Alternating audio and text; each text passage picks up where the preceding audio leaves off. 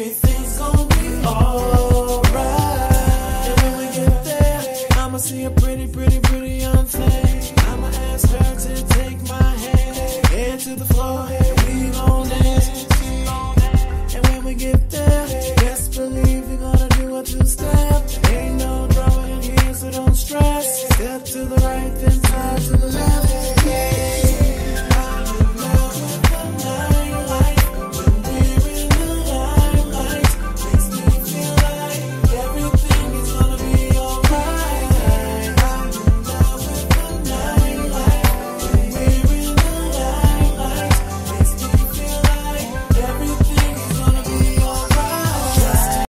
Good evening, welcome to the Steven Knight Show. Hope you had a great Monday. Hopefully, it'll get a little bit better for you right now.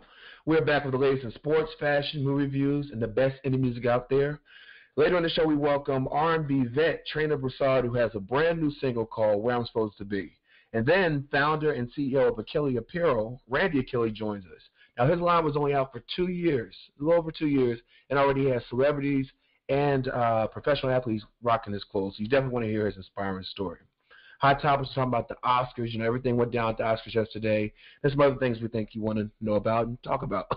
Listen, we're all over social media Facebook, Twitter, Google, Plus, Instagram, and of course, our, official, our official website, thestevenknightshow.com. You can also check us on iTunes. Uh, you can check us on iHeartRadio, Spreaker.com, YouTube, SoundCloud, you name it. Go to StevenKnightshow.com for more information. When we come back, Hot Topics, right back after this.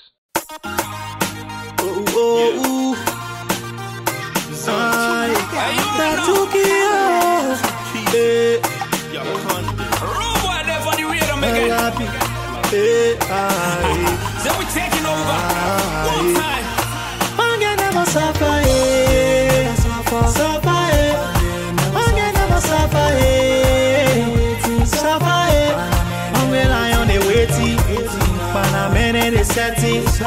Destiny got a chasing, but the trooper she jacking. Forget never suffer, eh. Suffer, eh. Forget never suffer, eh. Suffer, eh. Hungry lion they waiting, minute they setting. Destiny got a chasing, but the trooper she jacking, jacking, jacking. I said that you pass, she waiting, she checking, she looking and she not know what they are talking. I told her that trouble she causing the way that she rocking and shaking her to my eh, Onina Fatumata, put it on me like she from Kakata. All the men is scatter, all bene awa in a chaklai. When you tie your lapa and you wear your skin test, when you rocking your tuma, Bange, I want marry you. Chamu, I won't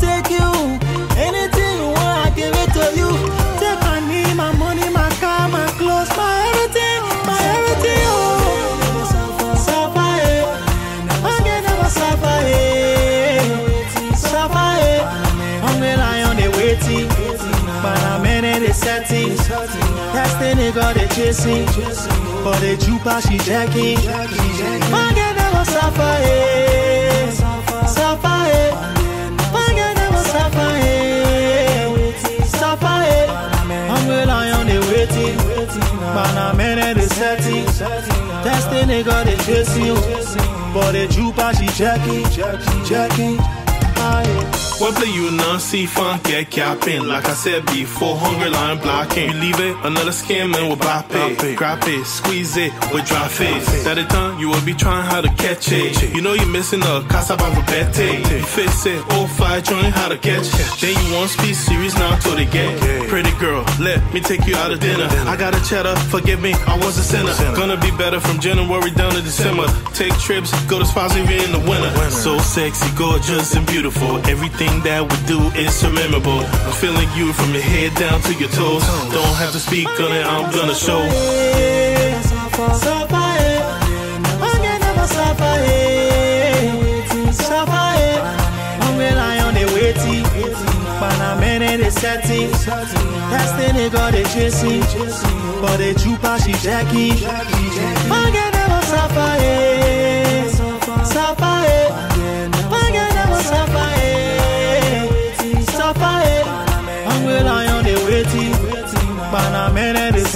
Testing nigga, they chasing. But the trooper, she checking, checking, checking. Anytime she walking, the boy them be watching. Anytime she walking, the boy them be jaking.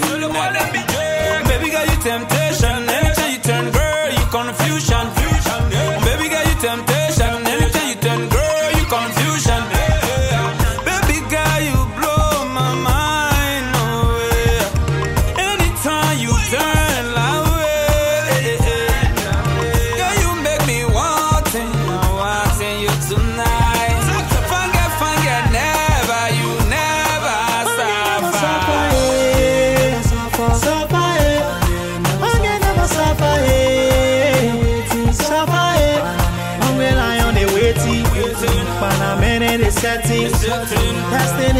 Chasing. But the trooper, she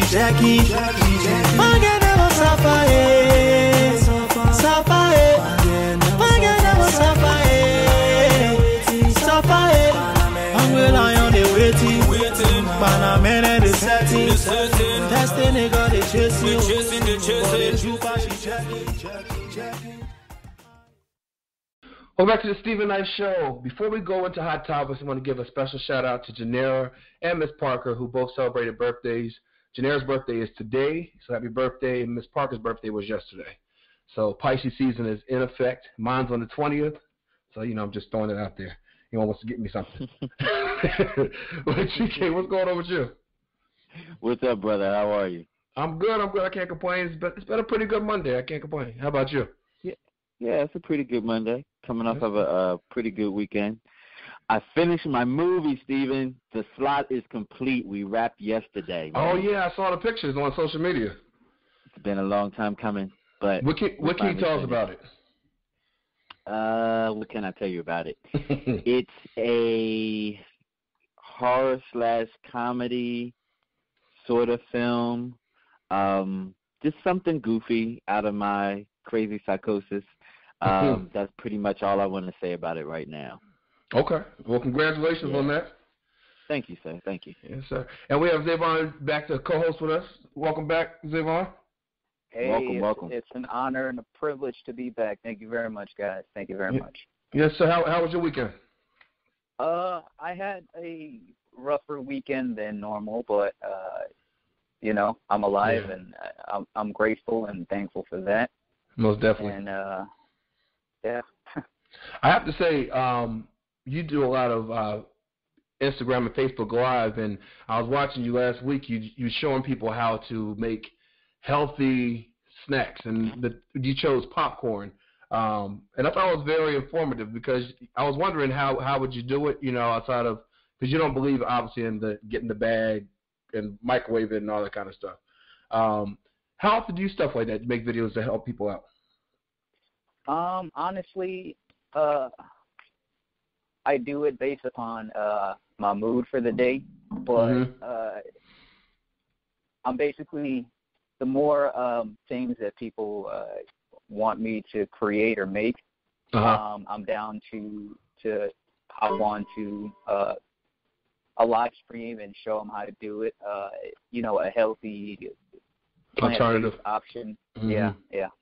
So Yeah. like whatever it is that they want. Right, right, right, right. Well, it looked really good, and so uh, it made me want to get, have some popcorn. Definitely. Yeah, man. so, uh, I think we lost Chike. Hold on a second. I can edit that part out. Okay. I'm gonna- I'm gonna stop recording real quick. All right. Well, our question today is: What is something you learned to do as you've gotten older? You've learned to do as you've gotten older. Chike, you take it. Um, I'm still working on it, but more patience. Uh, I think that I I can withstand. Uh, I can be a little bit more tolerable to certain things. Uh, now that I've gotten older, I've learned how, and then uh, it works the other way too. I've learned not to have tolerance for certain things, so it, it's a Mhm. double-edged sword. Yeah, yeah. What about you, Zavon? All right, so drop that question for me one more time. Okay, it's what's something that you've learned to do as you've gotten older? Um, it, it would definitely have to to to uh be working on uh, communicating. Yeah. Um, because in my past, uh, I was absolutely terrible at it, man. Absolutely terrible at it. And every single day, it's uh, it's a learning experience. Um, like it's it's never going to be perfect, Right. but um, we we just we just have to constantly work at um, figuring out how to get our point across um, in a respectful and, and uh, meaningful way without uh, causing harm, man. Right. So- Yeah. I agree. I agree.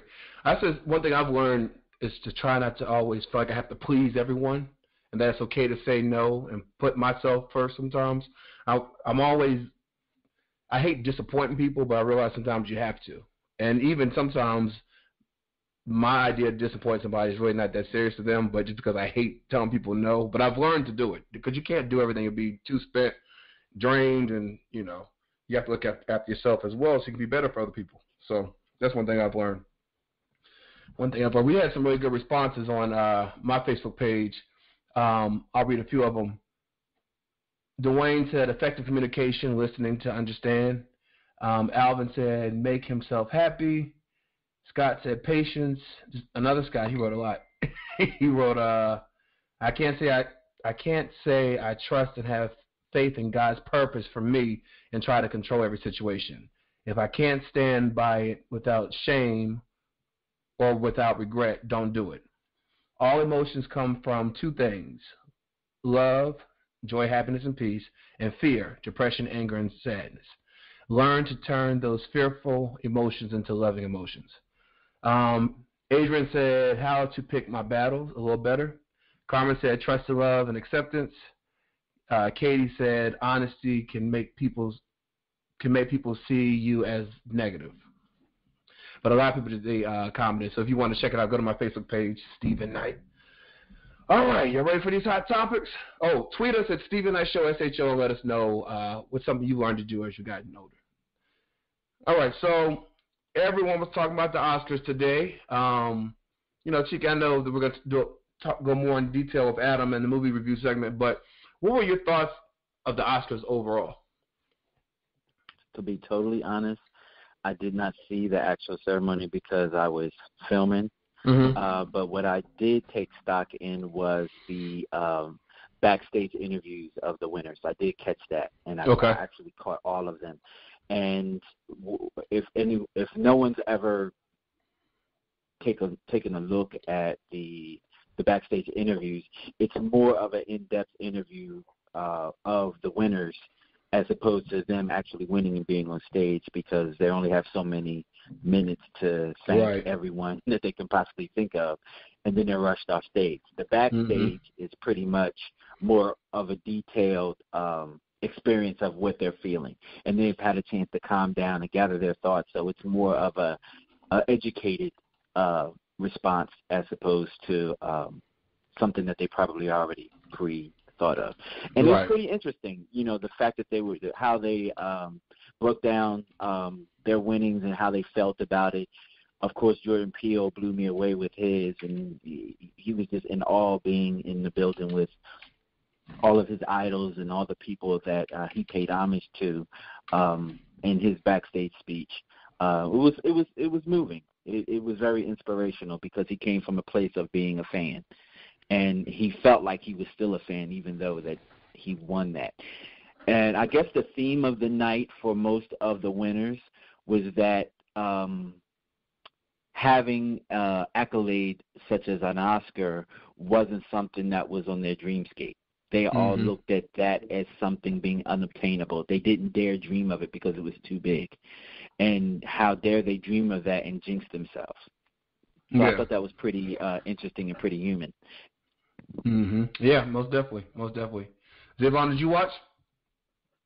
Man, again, I had a rough weekend. I Yeah. didn't have time. I didn't have time to watch it, man. No, I understand. I understand. I didn't. I didn't watch either. I was uh, at Wakanda. I went to go see Black Panther again last night. but uh, but one thing they were talking about, um, they were they were surprised that Get Out was pretty much shut out. They the only winner was Jordan Peele, who won um, for best screenplay. But they are a lot of other nominations that they didn't get. People thought they, especially movie of the year, they thought they were gonna get that. hmm Um, then they people took notice that no no black woman won anything last night. Um, and then of course the Times Up Me Too movement that was on full display. Um, some of the Harvey Weinstein um, top you know accusers they came out um, together on stage and said Me Too uh, and Times Up kind of situation. One thing that was interesting, Ryan Seacrest, I don't know if you heard about this. He uh, has been under fire allegations that his former stylist, she said that he, you know, sexually uh, was inappropriate sexually towards her, and so um, he's denied all claims and said that uh, she was just a disgruntled employee. Well, someone that also worked with her said that he actually saw Ryan doing certain things, but he said that they're both they're both disgruntled. That's that's been the whole, um, you know, the whole issue. But there was an investigation, and th- it was found that Ryan they didn't see anything that enough proof that Ryan had done anything wrong. Well, the the craziness was he was on the red carpet, and they were trying to decide should he have decided to stay home because it wasn't really about him, it was more about the actors, or should he have still been on the red carpet? Well, he did come on the red carpet, and only two people out of people scheduled to come meet with him came and interviewed with them. Um, they thought a lot So of they basically they iced him out. iced him out. They thought a lot of uh, the publicists probably were like, it's probably not a good look until this is resolved. Do you think he should have been there? Do you think the the actor should have interviewed? What are your thoughts on all that? I, I see both sides of that. I mean, of course, him being Ryan Seacrest, you know, and and he from his standpoint, nothing happened, and they, they were just disgruntled employees. You know, the show still must go on. He was already scheduled to be there. Of course, he's going to go to the Oscars. Mhm. You know, the year. Of course, he's going to. Um, as someone in his camp, if they could have advised him, it was a little hot on the block for him. I would have chilled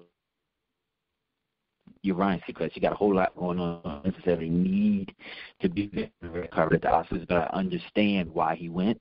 But he didn't have to be there. Yeah, yeah.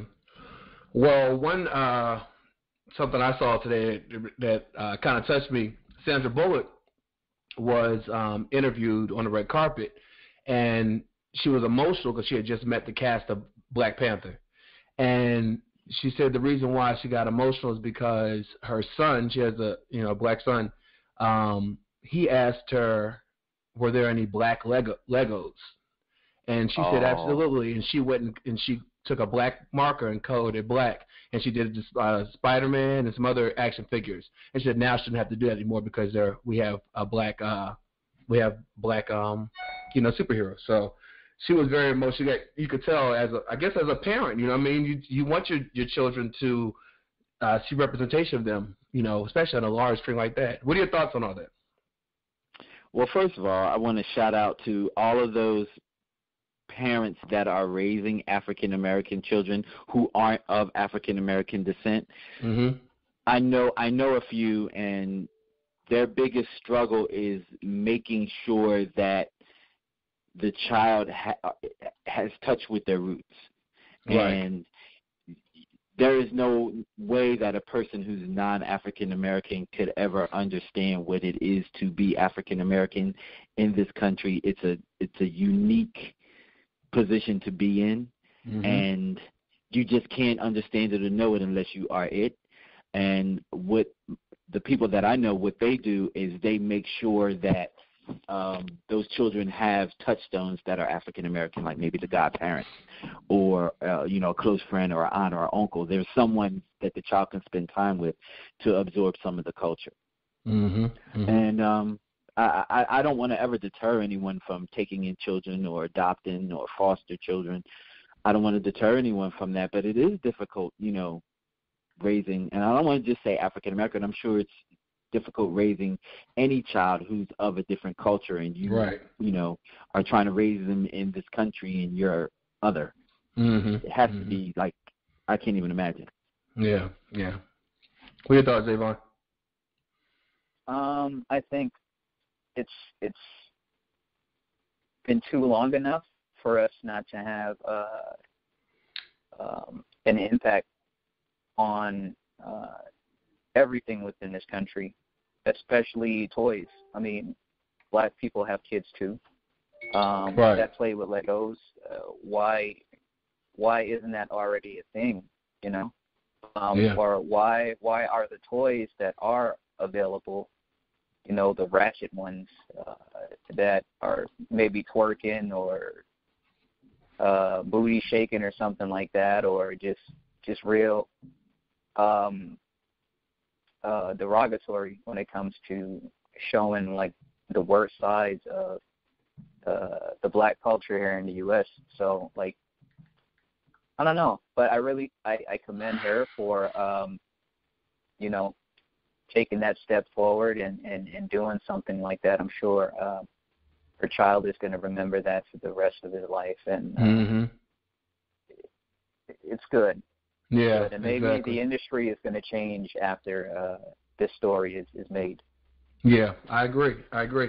And you know, I I watch This Is Us. I love that show. And on This Is Us, um, for those that don't watch it, um, the main family, they, um, the husband and wife, the the mom was pregnant with triplets, and she lost one of them giving birth. And uh, right after she gave birth, a baby had been found at a fire fire station, and the fireman brought it to the hospital, and he was black. The other family's white, and they adopted him with the family that saw, him as the third child. So anyway, he grows up uh, with the family, you know, as his mom, dad, brother, and sister. And um, early in the show, you know, this lady was watching, uh, the black lady was watching him interact with the mom and everything, and she felt kind of, you could tell she felt some kind of way about it. And she was pretty much telling the mom that she needed, he needs to be around black kids. He needs to learn black culture. And you know, she's thinking, well, you know, color doesn't raise a child, but but I think something clicked in her mind where she saw how important it was to start bringing their her black son to this black family and letting him hang out with them to learn the culture. I think that it takes it's it takes getting past your ego to see what's best for your kid, and I think the fact that her character there on the show showed, um, you know, that it, it that you understand the value in people seeing and growing up around or influenced by th- that people they can identify with, you know, culturally. So, um, but yeah, I that was what I thought about when I when Sandra Bullock. I think she did the same thing by trying to expose her son to uh, black culture, which is great. All right, uh, so people were upset because you know uh, T.I. and Tiny had filed for um, divorce, and it seemed lately they had been getting along, and you would see them together, and you know every, everyone was kind of excited for their their reunion. Well, looks like that a reunion may not be happening. So apparently, uh, Tiny she bought a home and moved outside the family home in 2014. The- She, and she had a mortgage of a million dollars, a little over a million dollars, that was supposed to be due by the end of April. I'm sorry, it was supposed to be due in April 2016. Well, she signed another deal asking it to be extended to this year. And so Boston is reporting this. So Tiny um, bought the home in 2014 again for she bought the home for for close to 50, well fifteen thousand dollars. No, that's not wrong. A million a million four hundred eighty one five hundred dollars. Um, that has six bedrooms, eight ba- bathrooms, six fireplaces, an exquisite wine cellar, uh, seven thousand eight hundred seventeen square foot living space. Now Tiny, um, she made moves to stay in the home, so it seems like she's not really ready to go back in the home because she's not trying to sell the home. Even though she doesn't have the reality show T.I. and Tiny, the family hustle, uh, she still has the tour money and she has her group Xscape. They've reconnected. So they divorced in December, they filed for divorce on December 16th, uh, and said that there's no hope of getting back together. Um, they said she's been living separately, separately, and asked T.I. to make a full accounting of their money, property, and investment accounts because uh, she's entitled to half of everything.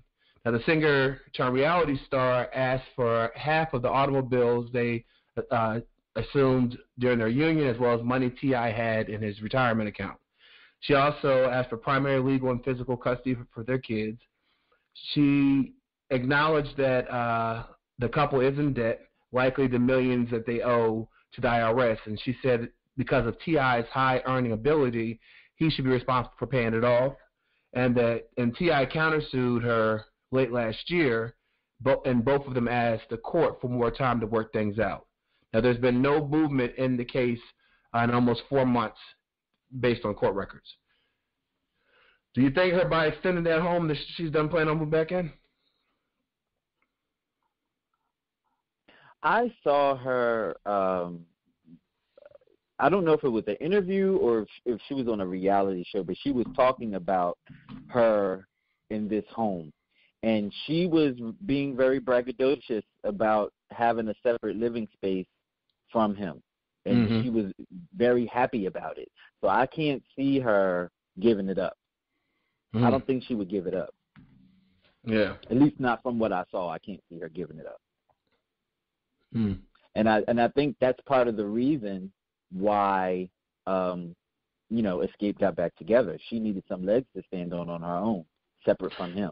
Yeah, because he didn't want her. I remember when they were well in married, he didn't want her doing music. He wanted her to stay at home with the kids. Yep. And so yeah, that that. Mm. We thought Davon. Um, I think I mean there's absolutely nothing wrong with having your own. Um, so if she can afford it, then by all means. If not, uh, you can't. Ex- I mean, expect. I don't know. It is. It's just. It all depends on on what their agreement was initially. Right. Um, but um, that's a lot of bread um, for one one person. You know, it, or even if you just have the kids there too. You know, uh, Yeah. they're all growing. Um, but it, it's a part of the lifestyle. So I mean, who knows? Right, you know. right. And then I wonder also, once you move out the house and you get your own place, is it easy to move back in? You know what I mean? Because back Absolutely in, not. it goes back to, you know, the reason why you probably broke up in the first place. So I don't know. I thought about that. Now she has her own place, her own space. You know, Most don't get rid of the second space. They move Mhm. back in, but they keep the second space. just in case, just in case. hmm All right, well let's take a quick break. We'll come back. More hot topics right back after this. Feels so good. Feels so good.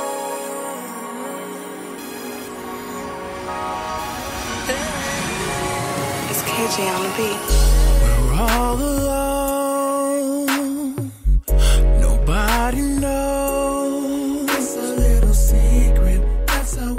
Keep it. Maybe we've been creeping on the low. No time to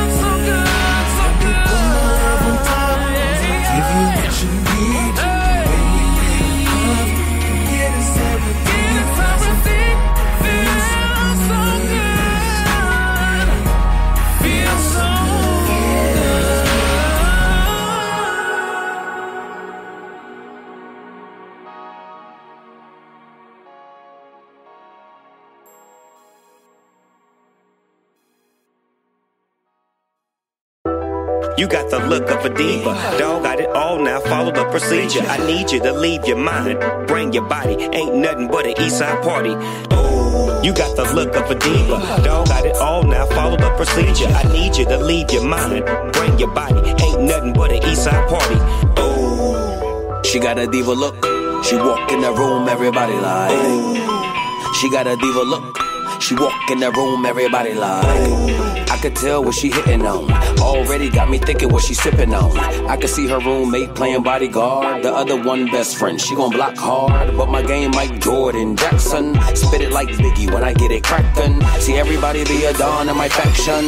OG schooled us to go past them. I inbound the ball, broke the full court press. How you doing? What's your name? What's next? Followed by a verbal game of chess. A couple words in her ear, later hang the rest. I'm like. You got the look of a diva. Dog got it all now. Follow the procedure. I need you to leave your mind. Bring your body. Ain't nothing but an east side party. Oh, you got the look of a diva. Dog got it all now. Follow the procedure. I need you to leave your mind. Bring your body. Ain't nothing but an east side party. She got a diva look. She walk in the room, everybody like. She got a diva look. She walk in the room, everybody like. I step off, her friends start judging. He's not the type to wife up or love him. Now her emotions kick, and shoving. She see through the persona that they be loving. Cause my game Cam Newton, Tom Brady, mama's baby, raised me from the 80s. Taught me how to talk when it's to a lady. I put it down so for show, no maybe. I feel it vibrate in my pocket.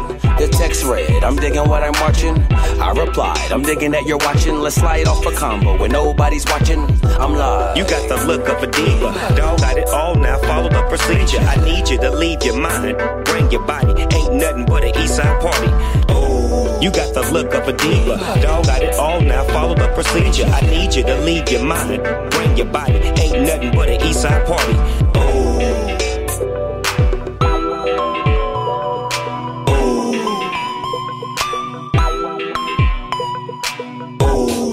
So cool, old school, big Snoop Dogg. I be breaking the rules. I'm phenomenal. Your mama knows, so I'ma go and get it. Push did the beat, so you know I got to spit it. So cool, new school. A Omega, I be dropping them jewels. I'm phenomenal. The ganja blow, so baby, come and hit it. Kush did the beat, so you know I'm gonna spit it. You got the look of a diva. Dog got it all now. Follow the procedure. I need you to leave your mind. Bring your body. Ain't nothing but an east side party.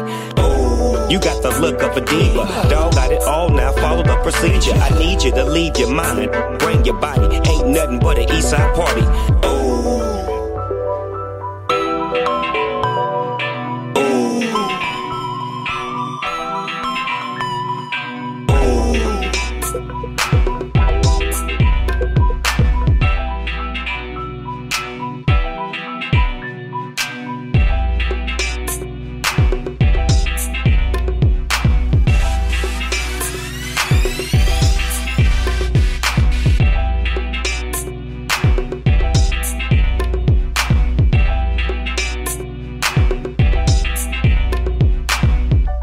You got the look of a diva. Dog got it all now. Follow the procedure. I need you to leave your mind. Bring your body. Ain't nothing but an east side party. Oh.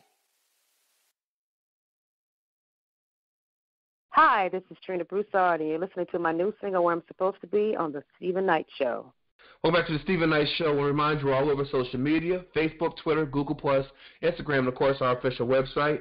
You can also find us on iTunes, iHeartRadio, SoundCloud. Go to our website. You'll find out more about it.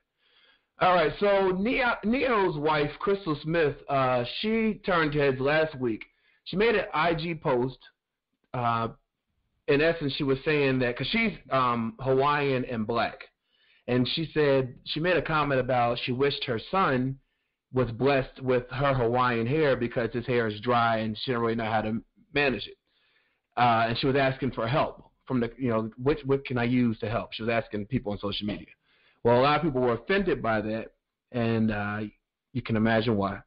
Well, TMZ caught up with her and they asked her, you know, what are her thoughts on the comments about, um, you know, the feedback from the comments she made about her son's hair, and she said that she loves her son, and that, you know, she said that she nothing's wrong with his hair, but she wants his hair to be soft. She wants to. What can she do to condition it and make it, you know, not dry and all that kind of stuff? This is pretty much she was asking for. But she said that she feels like that people were so hard on her because they don't like seeing black men date outside their race, and they said people don't don't realize that she's half black, but in general, people don't like seeing interracial couples in this way, and so that's why they probably came up hard on her. But she said she's gonna come out with her own hair care um, line uh, for kids like hers, and she loves her son, and she'll do whatever anything for him. Do you think there were comments? I mean, her comments about her son not being blessed with Hawaiian silky hair. Was that offensive? Because I heard two gentlemen. I was actually um, at work in our cafeteria, and these two older white guys were watching it, and they thought it was ridiculous that people were coming down on her. And at first, I I was kind of offended by her comments because, especially in this in the in the age we're living in now, where people are embracing natural hair and all this kind of stuff. But listening to today, I'm like, mm, I don't know. She maybe she didn't mean it like that. What are your thoughts on all this? Well, I've never really liked that term good hair, bad hair Mm-hmm, because I think all hair is good if it's growing and Right. and you can comb it and you can brush it and it's full and healthy, it's all Mhm. good hair. Right, Um, right, right. we, we, there are different textures.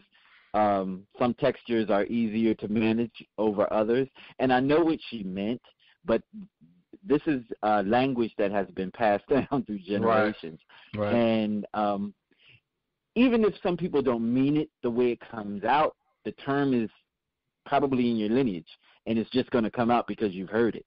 Doesn't Mhm. necessarily mean that you really think it's bad hair or good hair. It's just that's the language. Right. Um, I understand she probably hadn't had to deal with a more coarse texture of hair, so she doesn't know how to, to how to manage it.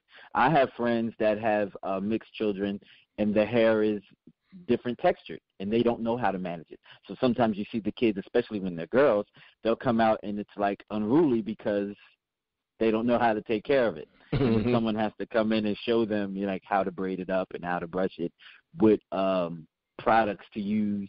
Um and if you think if someone say someone Caucasian is raising uh uh half African American and half Caucasian child, you have to use grease sometimes. Mm-hmm. Caucasian people don't really use grease. They're they're doing the opposite. They're running away from grease. So, you know, it's about education. So she was just looking for some education. I can't fault the lady for that. She wants to take care of her son. Right. Devon?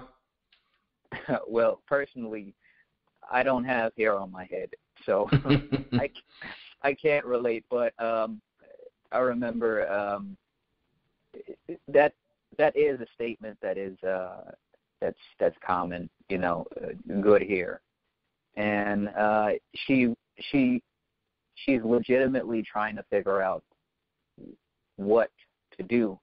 You know, uh, people are always just quick to jump on on on, on someone when they're you know legitimately asking for help you know or Mhm. just just looking for a, a, a way to to um spin it or or turn it into more than what it is.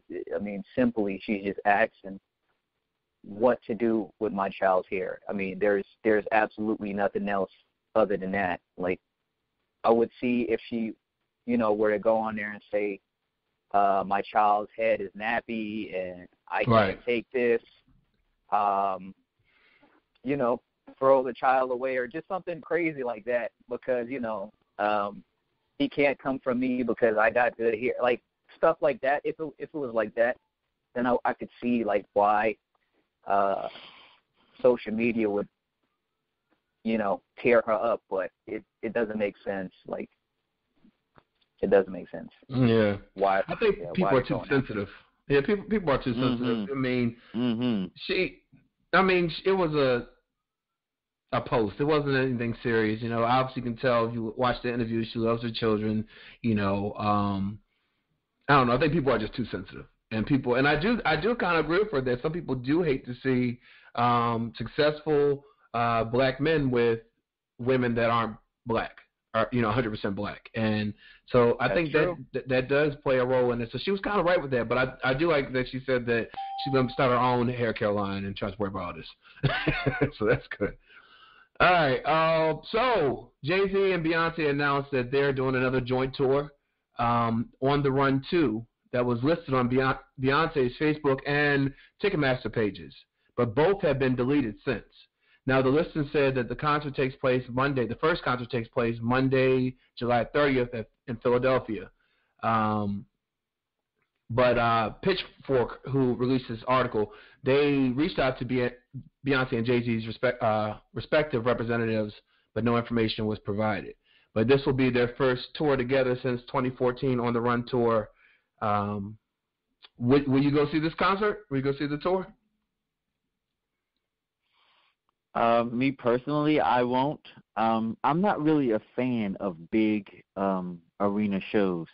I've seen Jay Z, I've seen Beyonce. I haven't seen them together, but I've, Mhm. I've seen them separately at our big arena here in Philadelphia. And shout out to Jay and B because they always show Philly love. They actually love this city, and um, they're always here. Yeah. Um, so yeah, I, I I think it'll be a great show. I, I me personally, I just don't. It's just too much for me personally. I like standing room onlys. I like smaller venues. I like more intimate concerts. Yeah. So yeah, uh, um, I think it'll be an awesome show. They they normally sell out the house. They tear it down, and uh, I wish them much success. Huh. Zavon? Uh, I think it's it's it's a smart decision from from uh, their standpoint. Like, why not? They're basically uh, still on top of uh, black culture, um, music, the music scene, everything. Like, to make all the money that you can um, while you're still, you know, Right. uh, it, you know, so you can you can um, extend into other businesses and stuff like that.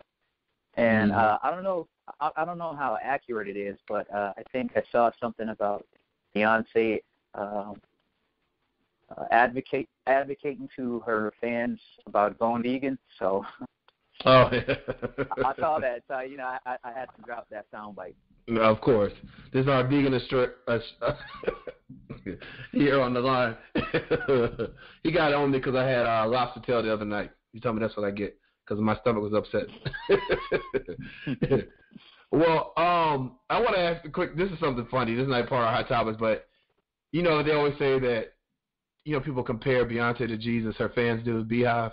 Well, uh, Wendy Williams, right after the whole Fergie um, national anthem, uh, Wendy Williams that Monday she was talking about it on her show during her hot topic segment, and she was saying that you know she likes Fergie, but she prefers to do like the pop up tempo song. She said everyone can't sing the national anthem. She was saying artists like Fergie, Beyonce, she some people said they all need auto tune, and she said people that don't, she said Dionne Warwick, uh, Mariah Carey, whatever.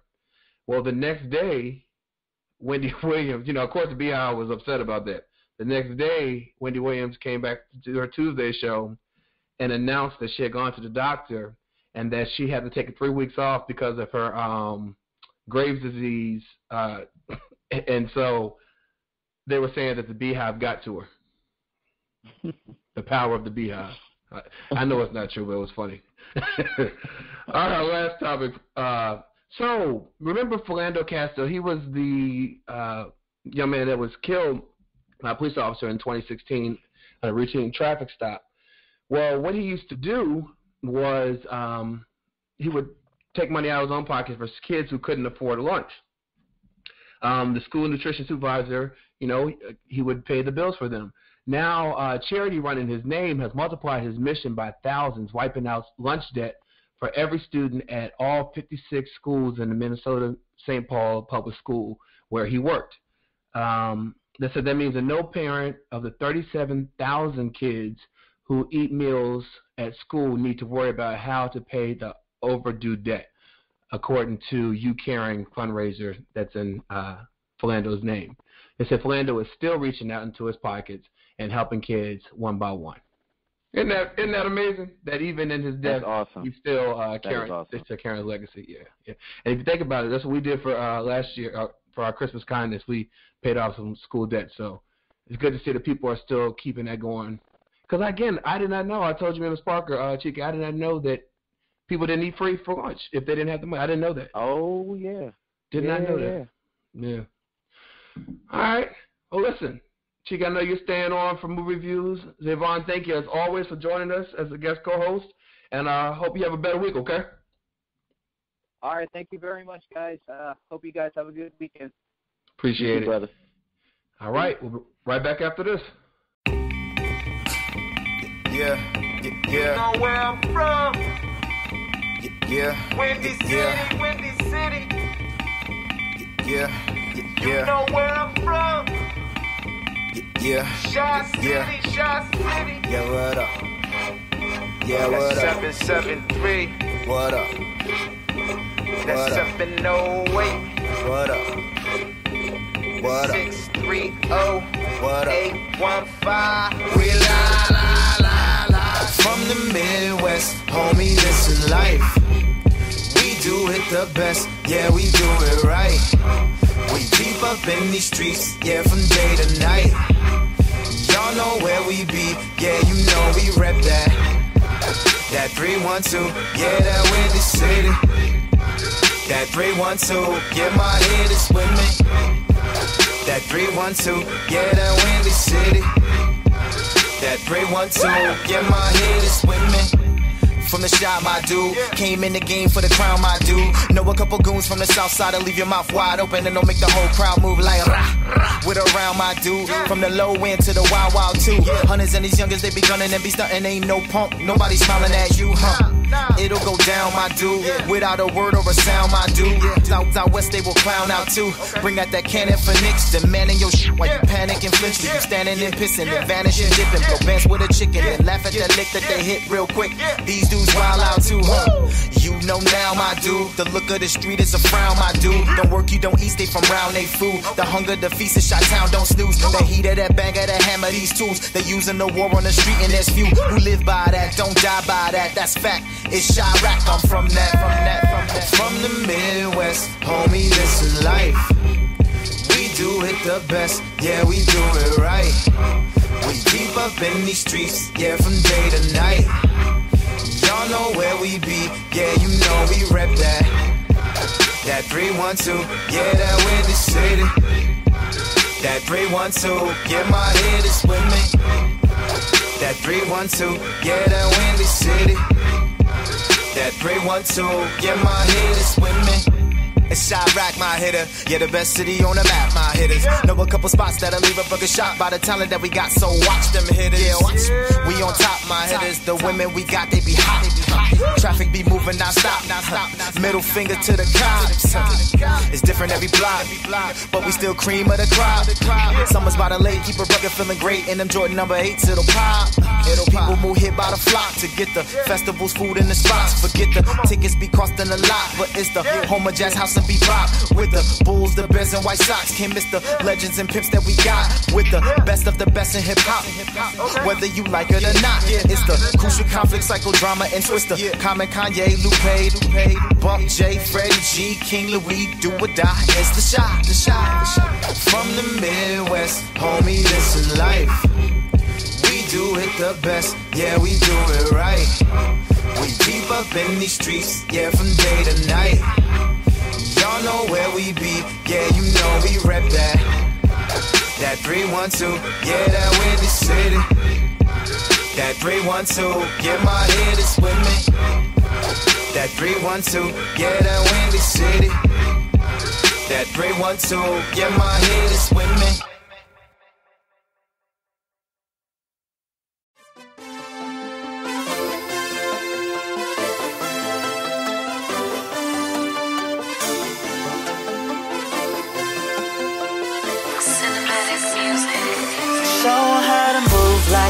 Your only option. Show them how to go, girl, cause you do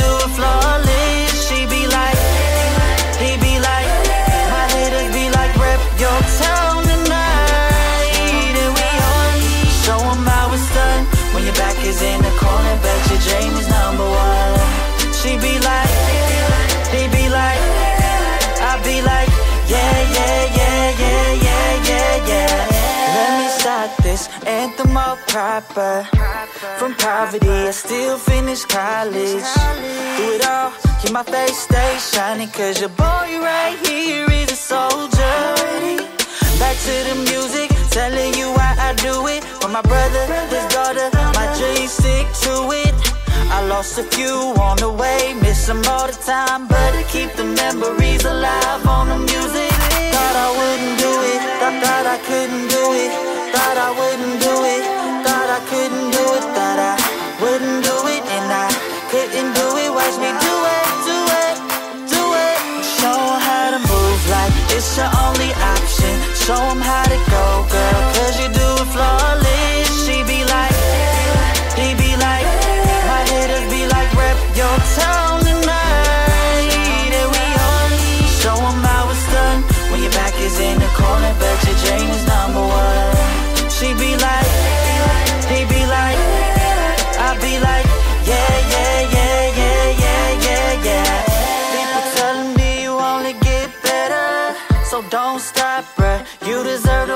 for sure. Oh, got a dollar and a dream, and no hundred guarantees I'm gonna make it out this life.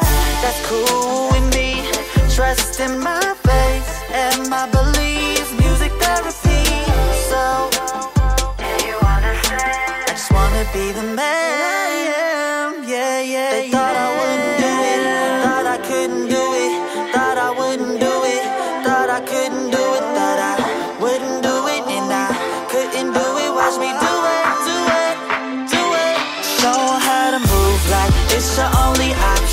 Show 'em how to go, girl, cause you do it flawless.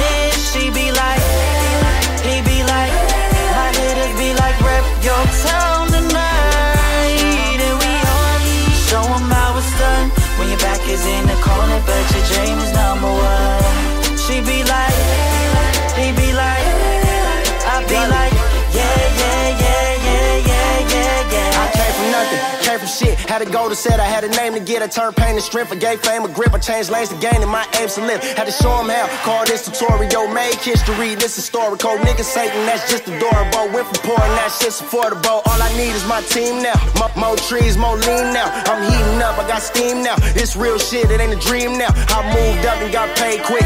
YH, who I stayed with. And this here look beautiful, like the baddest bitches I laid with. They thought I wouldn't do it. They thought, thought, thought that I would quit. Can't take no losses, I'm a boss. Tell all y'all bosses I'm the shit. Y'all boys so off, but I'm a hit. Got no time to talk, I'm getting rich. Can't hear yo talking like I'm deaf. And I kill no coffin with the shit. Show Why? how to move like it's your only option. Show 'em how to go, girl, cause you do it flawless. She be like, he be like, my haters be like, rep your town tonight.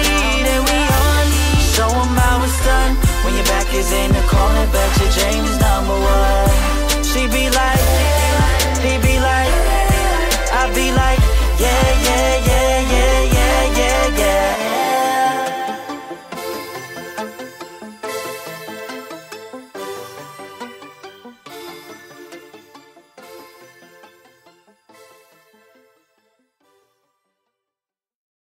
This is Achille Apparel checking in. You're listening to the only one and only Steven Knight Show. So uh, check us in. Appreciate it.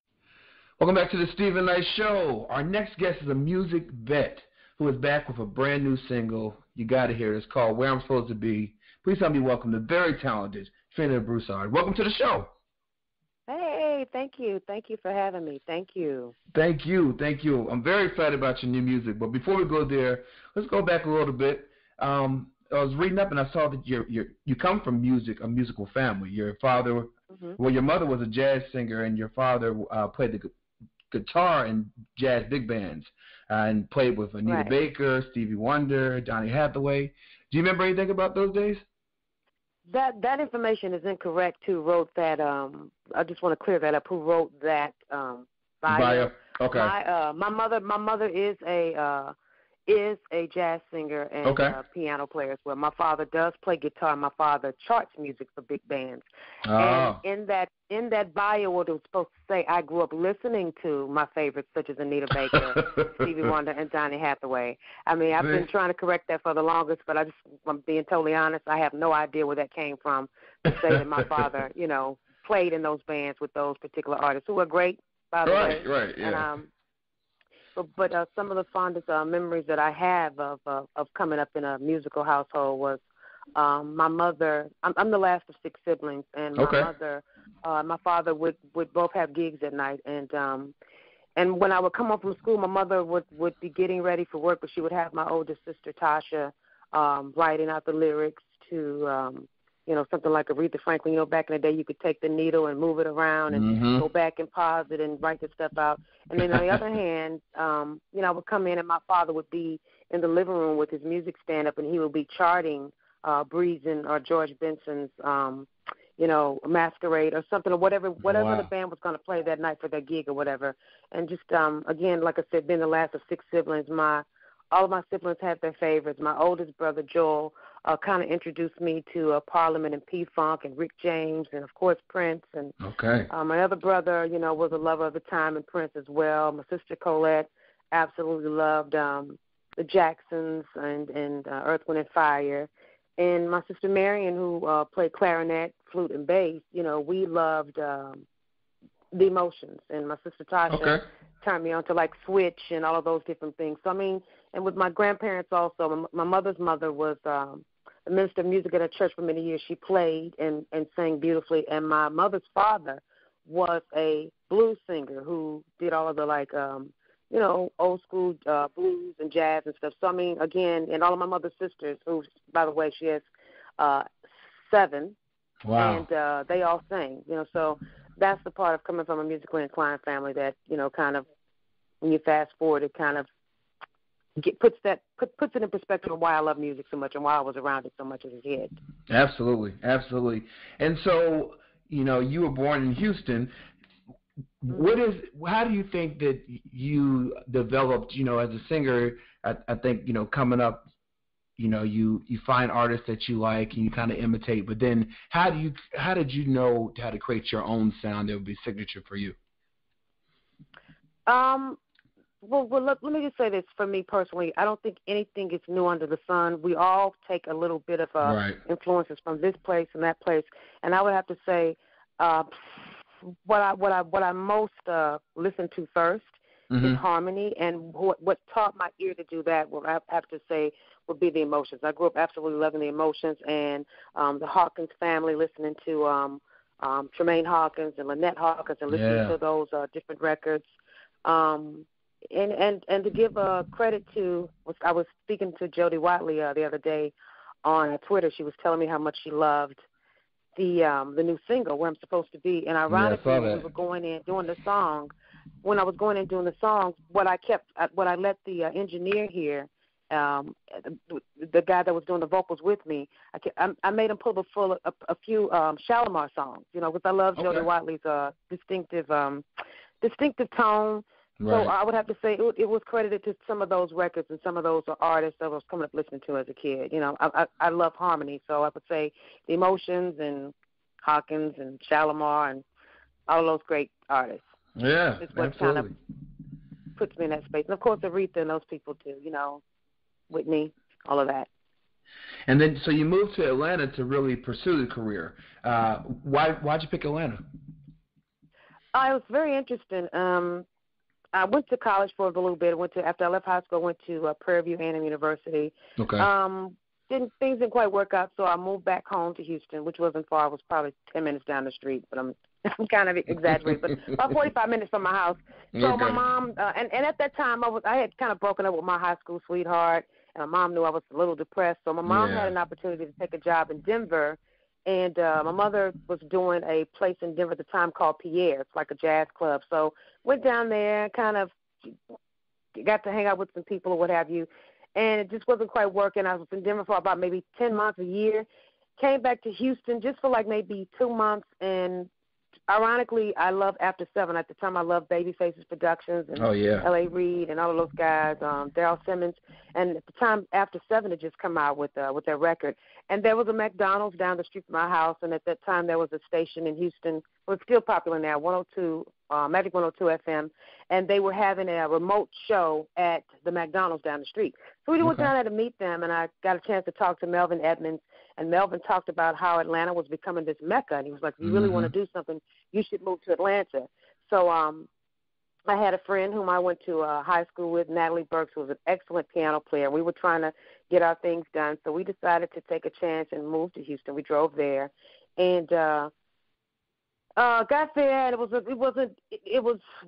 I'm not going to say that it didn't pan out the way it was supposed to be, but it worked the way it was supposed to work out. Exactly. Um, yeah. Yeah. got a chance to go. We looked on the back of a couple of records that um that the uh, whole Babyface production, the whole LaFace Productions was doing, and we found this address at this um studio where we were supposed to have a meeting with uh, Gene Griffin, and uh, Gene Griffin at the time was managing uh, Guy and Teddy Riley and a couple other artists, and ne- we missed him by five minutes.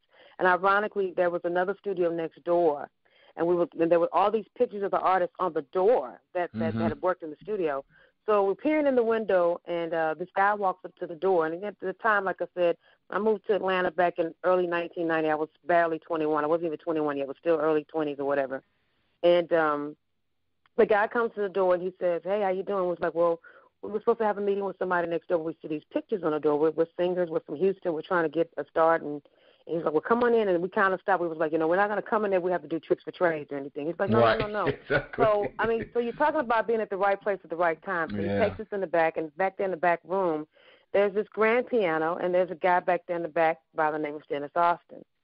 And the guy Cat introduces us, and we tell him uh, the same thing we told Cat about us trying to come and um, you know get a career started and Mhm. make some contacts and network. So he has Natalie go to the piano, and I remember singing "Vision of Love," you know, and Oh, wow. he said, "Okay, wow." So he talks about this guy. I'm talking about Dennis Austin. So Dennis introduces himself as Bobby Brown's musical director, Mhm. and um, we start talking. And I said, "I'm from Texas. We're both from Texas." And he was like, "Wow." He said, "I have a my son lives in Lubbock," and I said, "Well, that's ironic. My mother's from Lubbock. My family's from Lubbock. Um, well, my mother grew up in Lubbock." And he mentions his son's name, and I said, "That's my uh, that's my cousin's son." So from that point on, um, it Wow. was really wild. He said, um, "Well, I'm, Bobby's going out in a few weeks, and um, you know, I'll call you guys." And Natalie got a little impatient. You know, Natalie was the only child, used to being up with her mother and father. She didn't think it was going to happen, and um, Natalie had her parents come down and get her. And about two days later, after she left, I was really upset about that. But two days after she left, I got the call, and it, it- Wow. it started with Bobby Brown doing that, and it just kind of uh, snowballed into uh, working with Pebbles, being able to go in and, and Mhm. demo with Babyface, and and it just one thing after the other just kind of picked up. So it just, I would say probably after a four month stint when I first got to Atlanta, that's when it happened. I mean, and ever since then it's been kind of you know rolling like that. Been rolling, yeah. And I know Nellie's probably kicking herself. Why did I move? Why did Well, I you move? know, yeah, I I think she felt bad, but she had an opportunity to do some other great things That's too. good. You know, she had the That's really opportunity to do some things. You know.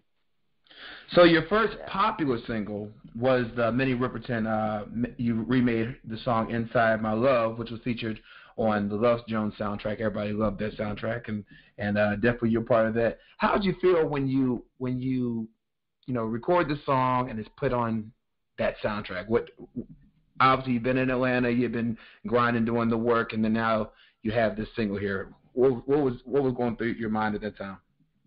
Uh, Well, you know, I I almost missed that opportunity. Um, wow.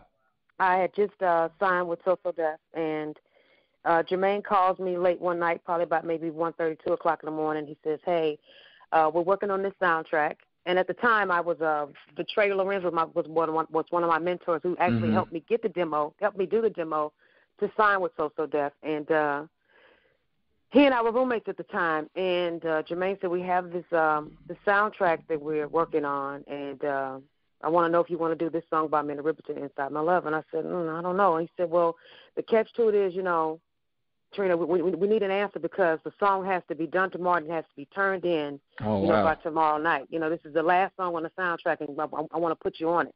Mm. So I get up and I go across the hall and knock on Trey's uh, door, and I said, Trey, Jermaine just called me, and he wants me to do this song. I was like, I don't, I, I don't really want to do it. I said, I can't hit those notes like Minnie Riperton. And Trey was like, listen.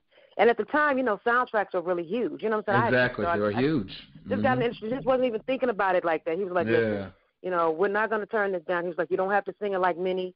Just do what you do, and let's let's start putting the stuff together. So I have to credit Jermaine and Trey. Trey got on the phone and put the uh, musicians together. You know, um, you know, kind of created the whole session for me.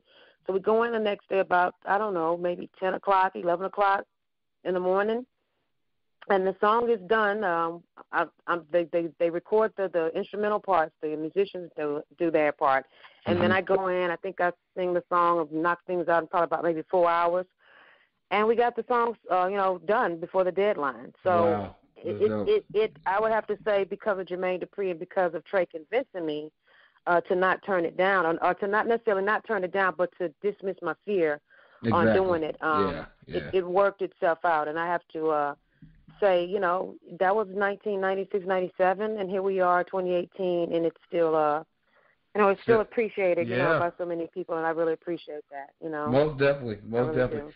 One thing I do have to shout out because I love this song. Here we go again by Aretha Franklin, and you helped Mhm. co-write that song. I love that song. I've always loved that song since I was I was younger, and so when I read that, I was like, oh wow, wow. How was that like when you got that placement? Uh, Say it again. How was it like getting that placement with Aretha Franklin?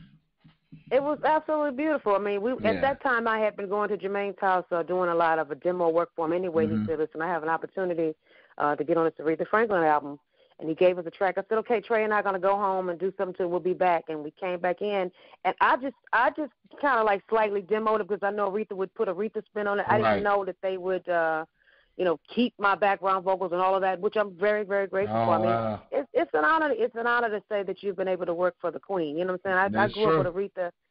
You know, I was hearing Aretha from the womb. My mother is a is a true Aretha Franklin, um, you know, fan, and and that's all I pretty much grew up with in the House besides the Emotions. I would have to say Aretha Franklin Emotions was, you know, I was listening to them before I came out of the womb, so it was just an honor to be able to, you know, write for her. and and and I asked Jermaine. I said, well, what did Aretha have to say about the song? He said she asked, who's singing on the track.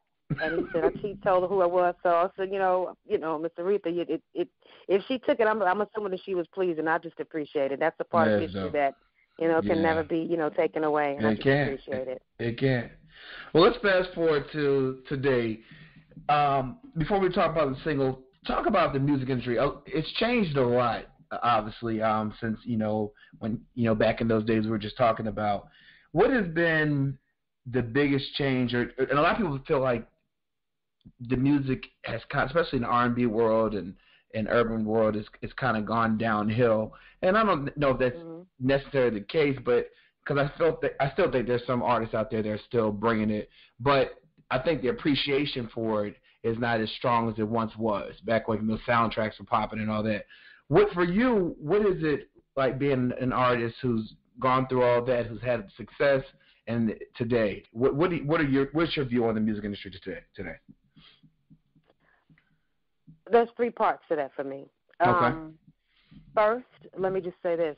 Um, there's a lot of smart artists out here. I would, I would Mhm. give them that because of, as far as how because the industry has changed tremendously.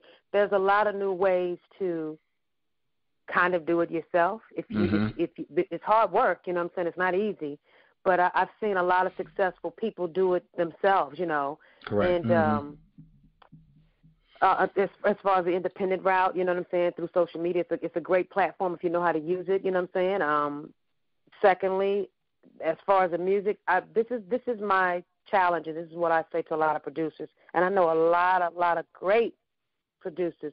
I, I I always say this. I think it's a disgrace, and I and let, let me just say this.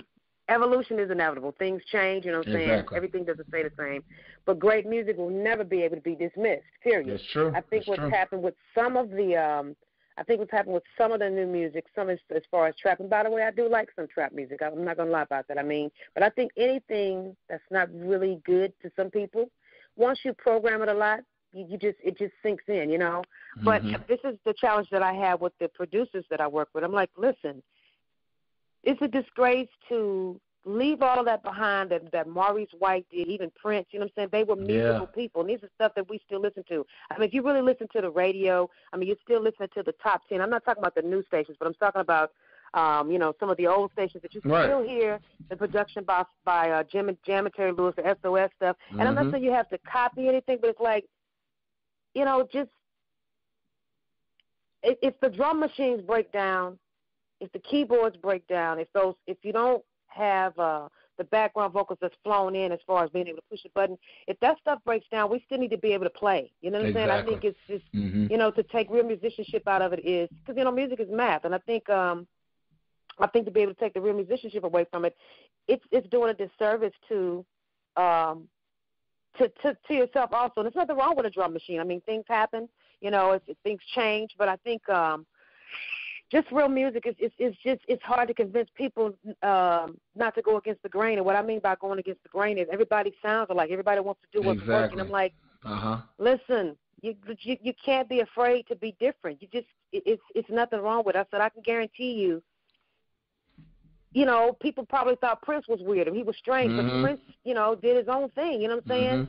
Mm-hmm. Nobody sounds like Earth, Wind, and Fire. Nobody sounds like LTD. Nobody sounds like the Commodores. Everybody had their own Their own particular sound. You know, when you can, when when you when you turn on the radio when I was a kid, we didn't think of it as being black music or white music. When we heard Hall and Oates and we heard uh the guy sing um I guess you wonder where I've been when you hear that, Mhm. we didn't know it was white. We just knew it was great music. So, you know, it's that's the problem that I'm having with nobody wants to stretch. Everybody wants to stay safe. You know what I'm saying? Yeah. Yeah. Stay safe. And that's that's that it. kind of that kind of irritates me a little bit, you know. No, I get it. I get a it. little bit.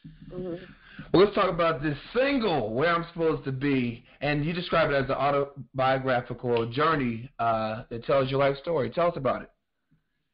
Um, uh, again, in the beginning of the interview, we talked about how I grew up in Houston. You know, Mhm. listening to great music. Would travel with my with my parents out of town every summer. And you know, when you're riding, um, you know, riding the car, you know, you get to hear different varieties of music and stuff. You know, we listen to country, western, we listen to rock, we listen to pop, we listen to jazz, we listen to gospel, and all of it had a different feel and a different effect from it, a, from it, a different impact. And um, you know, just um, I had somebody laughing the other day. I was telling them when I when I was growing up and I would practice at home, the vacuum cleaner was my microphone and my mic stand, or the or the screwdriver would be my cordless mic. You know, Right. so I mean, just those memories of uh, you know, just those memories at home of just singing and just you know not being afraid, no inhibitions in the way at the time. You know, just free.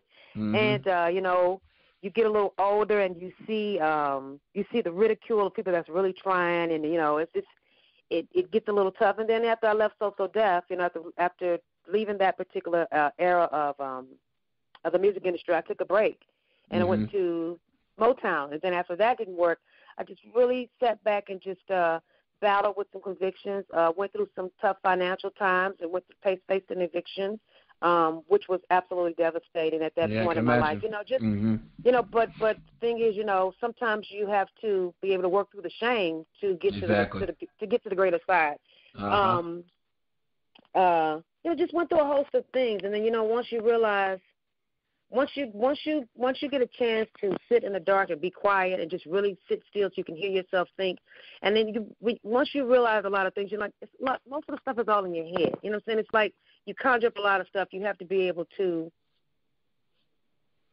you know, flush it out and and just get grown about it. You know, so Right. just get grown and say, you know, if bumps and bruises come, what are you going to do about it? you're going to sit in it, or you're going to move around and make some stuff happen? So that's pretty much what um what um you know where I'm supposed to be. You know, and, and what I mean by where I'm supposed to be, I think everybody in life, whether it's good, bad, ugly, or different, whatever's happening at that very moment, it is what it is. And it's not to say that you don't work towards if something is bad at that moment. It's not to say that you don't work towards it to get something greater. And if you reach the victory, whatever you were supposed to have, you're where you're supposed to be. And where I'm supposed to be right now is is is um doing what I was called to do, and that's music. You know what I'm saying? I stopped doing it for a minute. You know, and I'm Right, I'm, yeah. I'm at a peace. I have Yeah. a peace of mind about it now, and it's okay. You know, I don't let little small things. It's something about being grown. It's something about getting grown. Stuff starts to roll off your back like water. So That's they say. That's, That's just where I am now. Yeah, Right. yeah. So that's just where I am now. You know. Wow. That's that's pretty. That pretty much sums it up for me with that.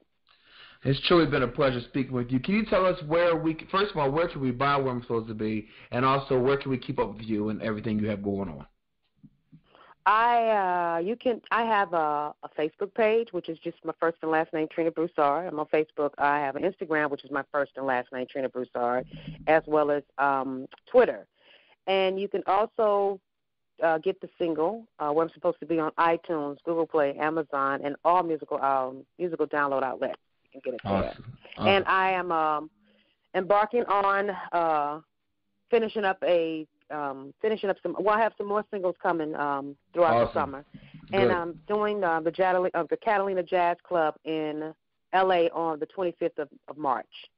Everybody check it out. I got to ask you one more thing before we go. Rahsaan Patterson, I was asked to ask about you all's relationship. Uh, that is family. Uh, family, has taught yeah. me a lot. Rahsaan is my brother. Rahsaan is my Mhm. brother. He's taught me a lot. Um, we've been through a lot as far as uh, you know how brothers and sisters fight, Right, but right. at the end of the day, you know, uh, much respect to him. A lot of my um, a lot of my learning and how to because a lot of shows that I do in the past, a lot of shows that I've done in the past, I didn't uh, really have background singers, but Rahsaan has shown me how to command the stage without needing that. It's it's tough, but it, it once you started, once I started doing it and learning from him, it got a little easy. I've learned about uh, the quality of um, wanting your songs to be right, not to be over analytical, but you just want great quality stuff. And I mean, Exactly. Yeah. Overall, a great guy, but like I said, just straight, just straight family. Learned a lot from him. Just straight yeah, family. My I brother. thought I'd shout out your, uh, your new single, so I thought that was pretty dope. Yeah. It's pretty dope. Yeah. Well, listen, Trina Broussard, thank you so much for joining us tonight. I wish you nothing but continued success. Keep. I'm glad you're Thank back you. doing this, doing what you do best. And uh, for more information, go to our website, thestevenknightshow.com. We'll be right back. Thank you so much, Trina. Thank you. All right.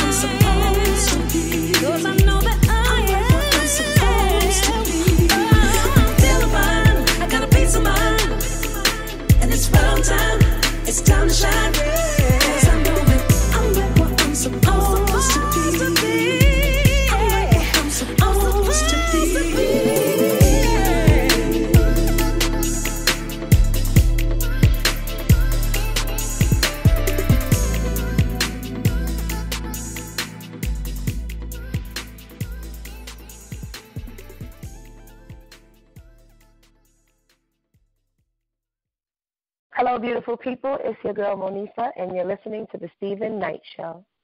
Welcome back to the Steven Knight Show. Our next guest is founder and CEO of Miami-based Achille Apparel and says that he was inspired to create and design something different. Now, Achille Apparel was founded in 2016, and tonight we welcome the founder and CEO, Ray Achille, to tell us more. Welcome to the show. Hey, well, well, well, welcome, welcome. Thank you for having me. Yeah, thank you for taking the time out your busy schedule. You doing good? Yeah, I'm doing good. How you feeling? I can't complain. I can't complain. You know, it's interesting. I was reading uh, uh, an article the other day, and it was it was entitled "Americans Don't Want Bosses Anymore." And I think it was talking about how a lot of people are transitioning to entrepreneurialism and ship. And so, um, obviously, you've done that, and you're doing it in a big way. Tell us about what made you decide to become an entrepreneur, and uh, you know, what, what, what was what what what was it that made you decide this is what you wanted to do? Um, I, I started figuring out I wanted to do what I wanted to do when um I started found out that I had a passion for fashion. So pretty much, I started gravitating to this trendy stuff, just from shoes to uh, pants to shirt. I just noticed that I, my creativity and my creativity and like my mindset was just always set on piecing like clothing together from hats to shoes to whatever it was. So then, um, I just told myself I want to just get started on on fashion, and um, I just I just put everything together.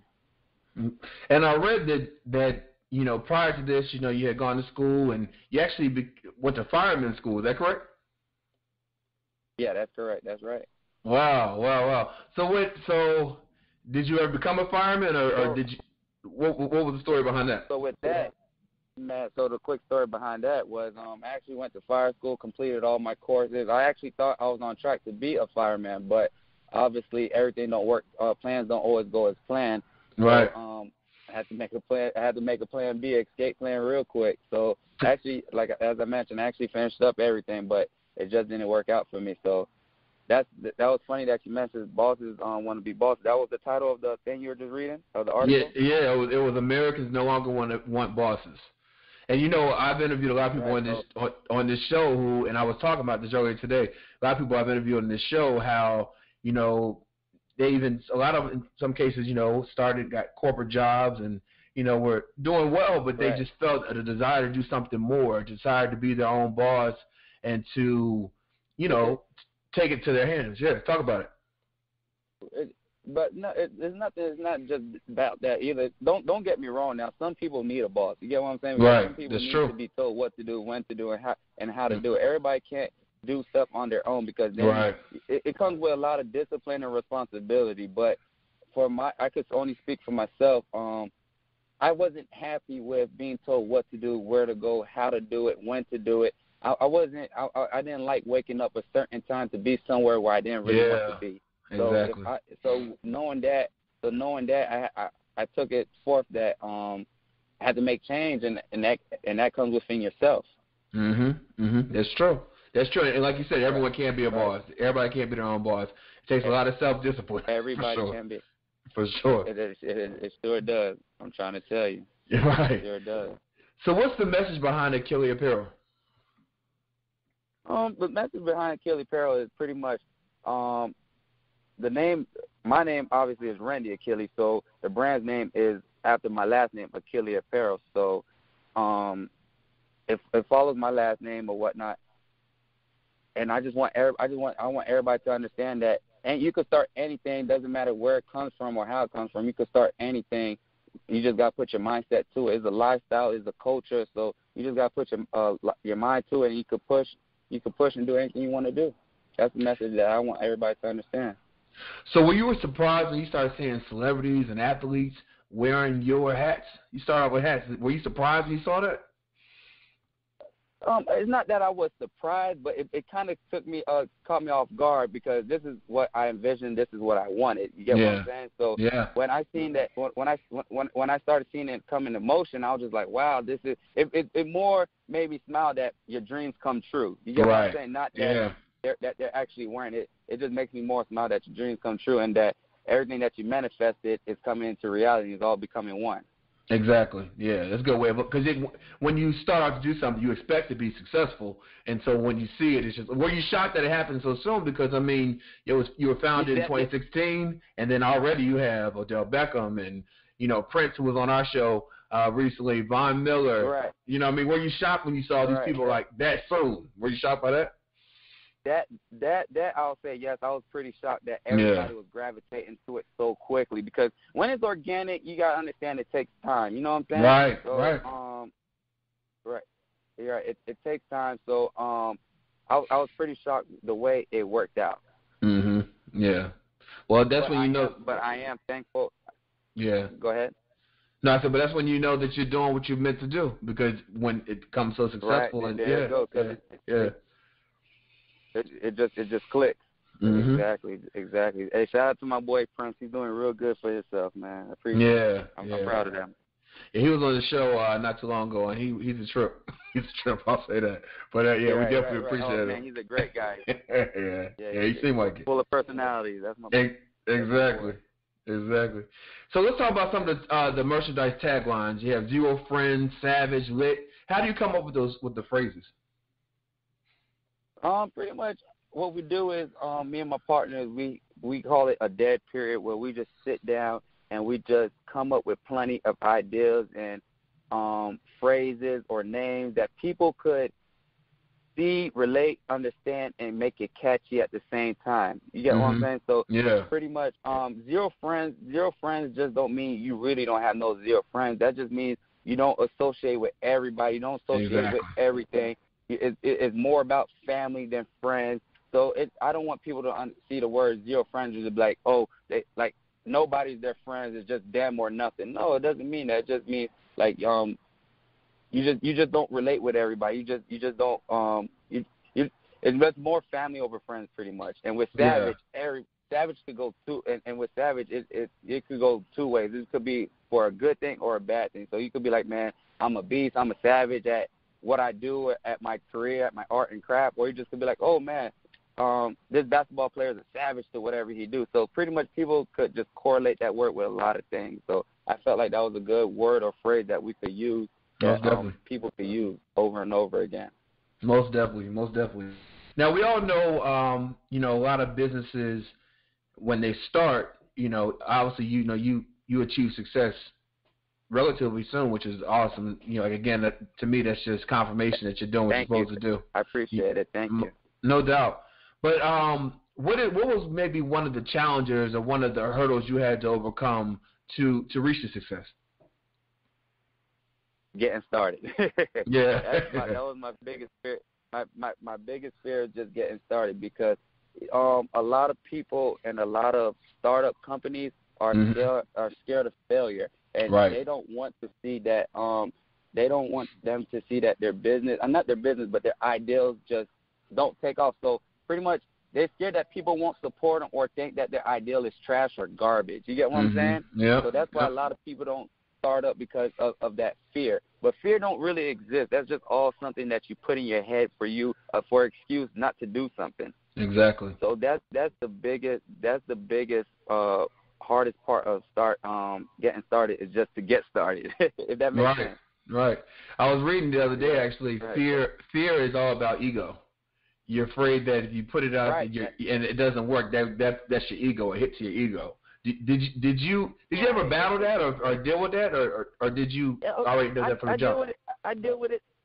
I, I deal with it today because sometimes I come out with two, three designs, and I'm like, man, if I push this one, and people don't respond to it how I want to, like, damn, just like what you don't like me or you don't like the design. You know what I'm Right. saying? But Which one is it? Right. right, right. So you just. Uh, it, which one is it? Like talk to me, but um, you just got to put that. You just got to put. You just got put that to the side. Your pride to the side, and just you got. You just got to also understand that everybody's not gonna like everything. You get what I'm saying? So Yeah, exactly. um, you just got to you you just got to put it out there in the world and just see how people respond to it. There's and that's another thing. That's um since you mentioned that there's no right way to start. So Mhm. when, once you put it once you put it there's no there's no blueprint on how to start. When I say get started, I'm gonna elaborate on that a little bit more. When I say get started, because you could say, okay, I'm gonna put out three shirts and then from there I'm gonna take off. And it don't work like that. What happened? Those three shirts flop. Now you're Right. discouraged. You don't want to go any further. So Mhm. once you just get started, people will respond and things will start working out, work their way out, and then you're gonna know which avenue and what to do and not to do. And that's Yeah. that, and that's some great solid advice right there. Most definitely, most definitely. Now we talked about you know uh, being founded in Miami, and I, I read um, that you talked about the culture of Miami. You know, Miami's just like Right. New York, where it's a melting pot of different ethnic, ethnicities and cultures. How did that? How was that influenced into your the product, your products that you do? Um, it, it's pretty good because just from Miami, you just like you say, you got a lot of culture, different cultures and backgrounds here. So, um, you get to touch a whole lot. You touch, you get to touch a whole lot of different demographic of people instead of Right. just one type of per, people or persons. You get what I'm saying? So, Yeah. you got your Cubans, your Colombians, your Hispanics, your Haitians, your Caucasians. Then you got your assholes, your niggas, your ignorant people. And Right, whatever. right. So, it is right. right, So, yeah, you, you, you got to make sure everything. So you need you need you need you need them all pretty much. You need them all to make you tough. You need tough skin in it. So you need them all. So it was pretty. I'm, if if it could be anywhere else, it's either here or L.A. or New York where I want to get started because that's the that's a great battleground uh, city to to keep to keep you organic and keep you humble. So I'm actually pretty happy. Um, it's all started in Miami. That's that's dope. That's dope. So what what can we expect in the future? I know that you have T-shirts now and you have uh, b- book bags and other things like that. What else? What else do you have coming down the Right. pipeline? man, man, a bunch of stuff. I just wish for myself nothing but growth. But just to give you a few hints, um, so we got, of course, of course, we're out the season, but we have Scully's coming up. We got, Mhm. um, we got windbreakers. We got more designs of shirts. We got different, we got different hats coming out. We got, um, we're gonna do, and this is the one for the ladies. We got bathing suits, and we got Okay. um, Achille Apparel Kids also coming out. So those two Oh, things dope. I'm really excited for, and um, yeah, it, it and it gives the brand just a whole different spin and a, another flavor. Exactly, exactly. Well, listen, I'm very motivated by what you've been able to accomplish in this amount of time and the fact that you're still grinding, still doing it. What advice would you give anyone, and not necessarily in you know retail or clothing line, but what would you advice would you give anyone who wants to step out, become an entrepreneur, and don't know the, the first step? What advice would you give them? Don't the, the greatest. I'll give them a couple of gems, couple of advice. Um, one one I'll say, don't be scared to ask questions. You know what I'm saying? Mhm. So the more questions you ask, it, the, the the more knowledge you get. So um, don't be scared. Don't don't look at. Don't be so prideful and like, man, I'm the to ask this person. I don't want to bother them. Closed mouths don't get fed. At the end of the day, you That's get what right. I'm saying? So That's right. uh, start hanging start start hanging around people that get it. So if you in music, start hanging around people that into music. Don't hang around. Don't if you're into music, don't don't hang around people that's into uh that that likes cooking food or like that Right. like beauticians. No, that's not your craft. Hang around Mhm. like-minded people. You get what I'm saying? So Yeah. so so your mind and your creativity is your creativity is always flowing. And um, I I also say um, do your research. A lot of people don't do their research behind what they want to do. Do your research because um, there's been plenty of people before that already have done it and failed, and they come out and tell us their stories of what to do and not to do. So pretty much it's already dummy proof. You just got to go out there and research and read for yourself. You you already got to research and read for yourself what to do and don't do. And once you do that, you're gonna have you're gonna have a, a, a solid ground and foundation to start on. Ray Killer, man, I thank you so much, so much for taking time out your busy schedule and spitting this knowledge to us. Let us know where we can purchase the clothes. I'm already on the website right now. Got stuff in my in my cart, my shopping cart. But, but where can we uh, go check out the clothes? And where can we uh, follow you on social media? Okay, so for social media on Instagram, you can follow me at Achille Apparel. That's A C H I L L three numeric three apparel. A P P A R E L. And the website is Achille A C H I L L three dot com. And here's a special treat. You can use code A three at the end of your um checkout and it'll save you about fifteen to twenty percent on your entire purchase. Can't beat it. Can't beat it. Well, listen, for more information And about be Achille- too exactly. For more information about Achille Apparel, go to our website, thestephenShow.com, and uh, we'll be right back after this. We can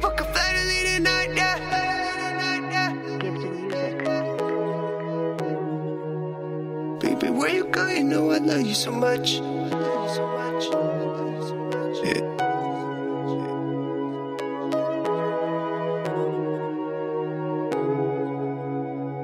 Yeah. Baby, where you going? Now I love you so much. I love you so much.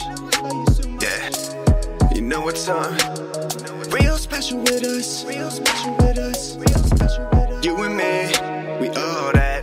I love you like I know you love me back. I'll do anything for you, baby. We can book a flight and leave tonight, yeah. Tonight, yeah. I love you so much, yeah. We can book a flight, yeah. We can book a flight and leave tonight, yeah. I'll do anything I'll do anything for you, yeah. We can do everything that you want, baby. We can book a flight and leave changes.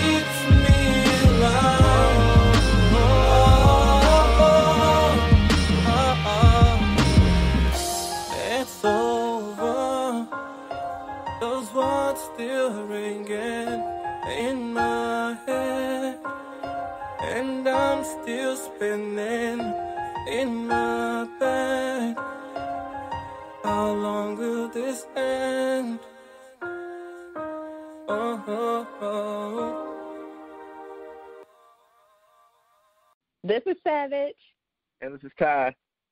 and we are from the Articulate Podcast, and you are listening to the Steven Knight Show. Welcome back to the Steven Knight Show. Adam, what's going on? How's it going? Good, good, Steven. How are you? I cannot complain at all. I cannot complain. I know you and Chike have a lot to talk about with the Oscars from yesterday and uh, movie review, so I'll let y'all take it away. Uh, sure thing. So I did see the 90th Academy Awards last night. Chike, did you get a chance to watch it? So, I, I Steven earlier, Adam, that I did not see the ceremony because we were uh, wrapping up um, the slot film, which uh, my movie, which we were working on for the past year, is finally done. So I didn't get to see any of the Oh, great. ceremony, but I did, I did see the the backstage interviews. Okay. Well, I actually did watch, uh, and usually I kind of catch the highlights afterwards. Uh, I try not to go through the whole thing, but um, it was uh, actually pretty entertaining. I know there were some low points and uh, had some laggy parts, but uh, Jimmy Kimmel did a great job. He was hosting again, and um, the everything went off pretty well. You know, there was no envelope uh, issues this year, and um, the performances I really liked. So uh, one of the things I do like about the Oscars uh, that I think are one of the more entertaining parts are when uh, each song is performed uh, for the best song of the year. And this year we had a good, uh, good, good mix. Mary J. Blige uh, performed for uh, her song in Mudbound, which she was also nominated uh, for an Oscar for. Um, Mystery of Love, uh, and Call Me by Your Name, uh, Remember Me from Coco, Stand Up for Something from Marshall, This Is Me from uh, The Greatest Showman. So all of those performances, except for Mystery of Love, was kind of um, kind of just a, a subtle. And uh, the artist Sufjan Stevens is more of an indie artist, so it was kind of a muted uh, performance. But Mighty River, they did a really good job, and uh, Remember Me. Um, which actually ended up winning the uh, Oscar for the best song, done by uh, Gael Garcia Miguel and Natalia Lafourcade. Uh, did a really good job. So if you get a chance, to check those out. Uh, the Coco one had a very big, uh, obviously, Mexico theme and the Day of the Dead and things like that. So uh, that was the highlight for me. And then just the awards. So I didn't get a chance to catch everything, uh, watch all the Best Picture nominees, unfortunately. But Shape of Water, which was kind of um, it trended into three billboards at the beginning of the season, and then Shape of Water kind of took a lot of other awards, and it was favored to win. So that won, and that's the Guillermo del Toro movie about the girl who has a romance with uh, this kind of fish creature. And So, Adam, um, yes. I have to ask you a question because I, I was looking at the roster and how it actually panned out. We were kind of on point with what we were thinking about when we were talking about the films and how they were going to do. We were kind of on point about who the winners were going to be. Yeah, yeah, and it was it was interesting because there was no real surprises. Uh, Gary Oldman, uh, I think we all knew was going to get Darkest Hour, and he's he's been uh, nominated a few times, and he's a he's a Academy favorite and a fan favorite. That's Frances McDormand from Three Billboards and Sam Rockwell from Three Billboards, which uh, I think you agreed those they were both great performances. Mhm. Um, Get Out getting the original screenplay, I was really happy to see that. Uh, there was a lot of competition in that field, so uh, I'm glad uh, Jordan Peele I was that. um I was really happy about uh Allison Janney winning the uh best supporting actress for I Tonya simply because w- we don't really get to see her go all out in a role. I mean, she's done great roles, but she's even explained that this was a gift to her. Like this role was given to her just so that she can go out on a limb. And she did that in spades. And I'm so glad it worked out for her and that she was able to win this award. Yeah, I agree. I still haven't seen I Tonya. I am going to check it out, but um, she even had a funny speech where when she got up to the podium, she said, "It was all me," and started laughing. Everyone's laughing because you know, everyone always thinks everyone else. So she had her little moment, uh, but I'm glad that she's in it. Uh, I've actually been watching The West Wing uh, recently, and you know, of course, she's one of the main characters, and then she does a great job there. Do me a favor before you before you actually go see it. Before you go see I Tonya, look up footage of Tonya Harding's mother before you go, just so you can see that, and then watch Allison Janney's performance. She did not have any material to rehearse this woman to. Oh wow! This is this is Okay. off the cuff. She didn't meet her until after they finished filming. Tell me what you Wow. think after you do that. Yeah, yeah, I'll definitely take it, uh, check it out. Um, and then everything else was kind of on par. Coco winning animated feature that was expected. Uh, a few other awards along the way. One that uh, not surprised me, but I guess as I was learning into more of the smaller awards or the other categories, that Kobe Bryant now has an Oscar. Yes, he does. He actually he created an animated short, uh, and he created the story and kind of the outline, and then he actually had a, a Disney, uh, one of the classic Disney animators, uh, do the animations for it. So uh, yeah, he he went up to the stage, and you know, uh, it's funny when you see Kobe Bryant next to all these Hollywood types, he looks like a giant. Uh, and just when you see him on the court, he's normal height because all basketball players are almost, or almost all of them are tall. So it's it's fun to Mhm. see kind of the the difference uh, in the heights when he's walking up, and he's still, you know, he's still tall, obviously. So um, that was a nice little pleasant surprise. But um, yeah, everything was on par. The the event went well. There were no problems. They even did uh, a whoever gave the shortest speech got a free jet ski. So they did a Price is Right kind of joke theme there. Uh, and someone did go home with a jet ski. Uh, so it was kind of a fun little um, turnabout. But great job by everyone. Uh, again, no no real surprises. I think everyone was on point. I know Shape of Water has been one of those movies that people either love or they they hate. Uh, I'll, I'll check it out, obviously, just because it's one, and I'll I'll let you know my opinion at a later time once I do. But um, it's an interesting premise, and you know, congratulations to everyone. They had a, they had a good night with no no real issues or surprises. And I guess I, I guess overall with with all the winners, uh, I am satisfied. I mean, I, I'm not really upset about any of the winners, and um, I don't feel like the Academy snubbed anyone. Um, even though Get Out didn't win Best Picture, um, I kind of sort of knew that they wouldn't, just simply because um, last year, the Best Picture of the Year Mhm. was an African American film. I just didn't think that they were going to do that again two years in a row, and um, rightfully so. It went to uh, The Shape of Water. I really thought that they deserved it. It was really a good film um, with an awesome story. Uh, Yeah. Del Toro did an awesome job. and also, uh, you know, and it's awards, and people have to realize, or you know, you kind of realize as time goes on that not everything's a, a kind of a binary best picture or not best picture. You know, people, the Academy, Hollywood loves Guillermo del Toro. They were going to pick him uh, for best act, uh, best director anyway, just because he's such, you know, in the industry they love him. So I think that also factors into it. There's a lot of uh, outside parameters. I know people were a little shocked when the Florida Project, which I haven't seen but I want to see, wasn't nominated for Best Picture.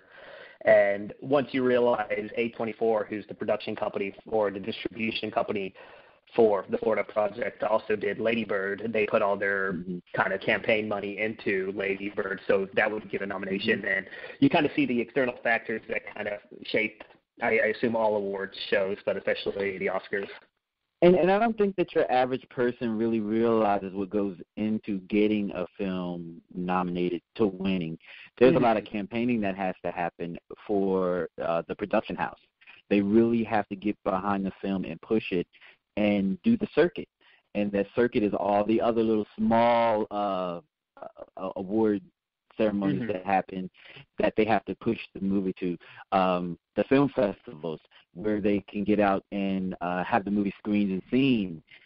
It's not always just what comes in the box office. They have to really work and get these movies. Um, more so, the people in the industry, the, the other Hollywood people, they have to push it to them to get them to accept it, to get it nominated. So it, it's it's it's it's hard. It's not just you know I made a film, Yeah. nominate me. Exactly. A lot of money has to be spent even after a nomination. Uh-huh. I Did also you all- wanted to give one more shout out. Oh, sorry. Oh no, I was saying, did you hear that this was probably um, the lowest rating Oscar in history? Yeah, I saw that are down 17% from last year, uh, and but they're still projecting it to be like the biggest non-sporting watched event of the year. So okay. um, okay. I guess take it as you will. I mean, you know, it, it's tough to do an awards show. Like I said, I, I usually don't watch them, um, and I think a lot of people forgot that it was coming up. You know, it kind of snuck up on you. Mhm. But um, I don't know. I mean, they're still going to do awards shows. Just Sorry. in general, I, I think that viewership for a lot of things is down. Like the Super Bowl was down. Um, Mhm. uh, the Mhm. um, uh, what was it? The the New Year's Eve, uh, the ball dropping event that was down. Like everything is down, and I attribute it to there's so much more for people to be watching now. It's Exactly. like you you can, you go dizzy trying to figure out what you want to put your attention to on the television. Yeah, yeah, that's true. Yeah, I I agree. And then uh, one more quick sidebar about the Oscars uh, before we move on. Uh, watch, and I this is my first time experiencing Tiffany Haddish, um, and she was in the movie Girls Trip, uh, I think earlier this year. But she is hilarious, and she is so funny. And her and Maya Rudolph did uh, presented an award uh, beforehand, and they're they're kind of their back and forth was well executed, and um, yeah, keep an eye out for her. I'm, I don't know if you guys are familiar with her, but uh, she's definitely a a very funny person and a very good on-screen personality. So uh, I'm looking forward to seeing more of her I'm stuff. familiar with with Miss Groupon. Hey, Tiffany. Yeah, exactly. yeah. If anyone wants, go look up Tiffany Haddish Swamp Tour. Uh, in this uh, interview she did on the Jimmy Kimmel Show with uh, Jada Pinkett Smith, or well, taking Jada Pinkett Smith and Will Smith on a swamp tour in uh, Louisiana, and it's a hilarious, a hilarious story. So Oh, you know, sh- shout out to Tiffany Haddish. She just signed a, a big deal with Netflix. Um, actually, it's a double situation. She's going to be doing stand up, and she also has an animated show coming out on Netflix. So shout out, Tiff. oh, perfect. Um, Adam, do you, do you have anything coming up that you want to see? So no, uh, actually I do, and sorry, um, I got a little lost connection there, but I did want to speak about. I did go see a movie this past weekend, Red Sparrow, and this is that spy thriller with Jennifer Lawrence in it, and it follows. A book.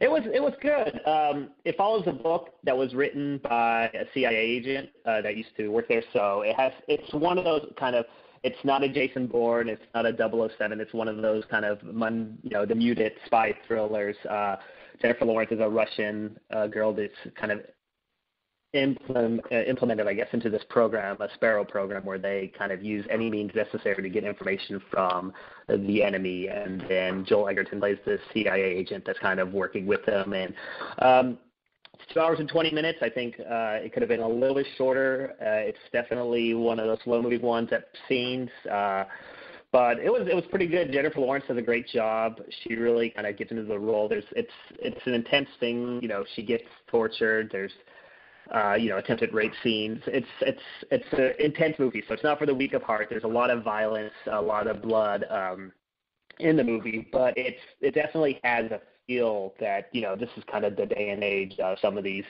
people in espionage, and you know when things go wrong, this is what happens. So. Um, check it out if you're looking for a change of pace. Besides that, next week has a couple of big hits. Uh, a Wrinkle in Time, uh, which uh, stars Oprah Winfrey amongst uh, many others, and Gringo, which is kind of like a dark comedy uh, that will be coming out this weekend too. So we'll see how they both pair up against uh, the number one movie in the box office for the third week in a row, and I think over nine hundred million dollars worldwide. Black Panther. Uh, so you know the love is still strong there. Um, Wakanda forever. Exactly. Chadwick Boseman was at the Oscars. Uh, so, you know, maybe even Steven will watch it one more time before it's uh, finished its run. You know, I saw it last night. You did? Uh huh. My second time.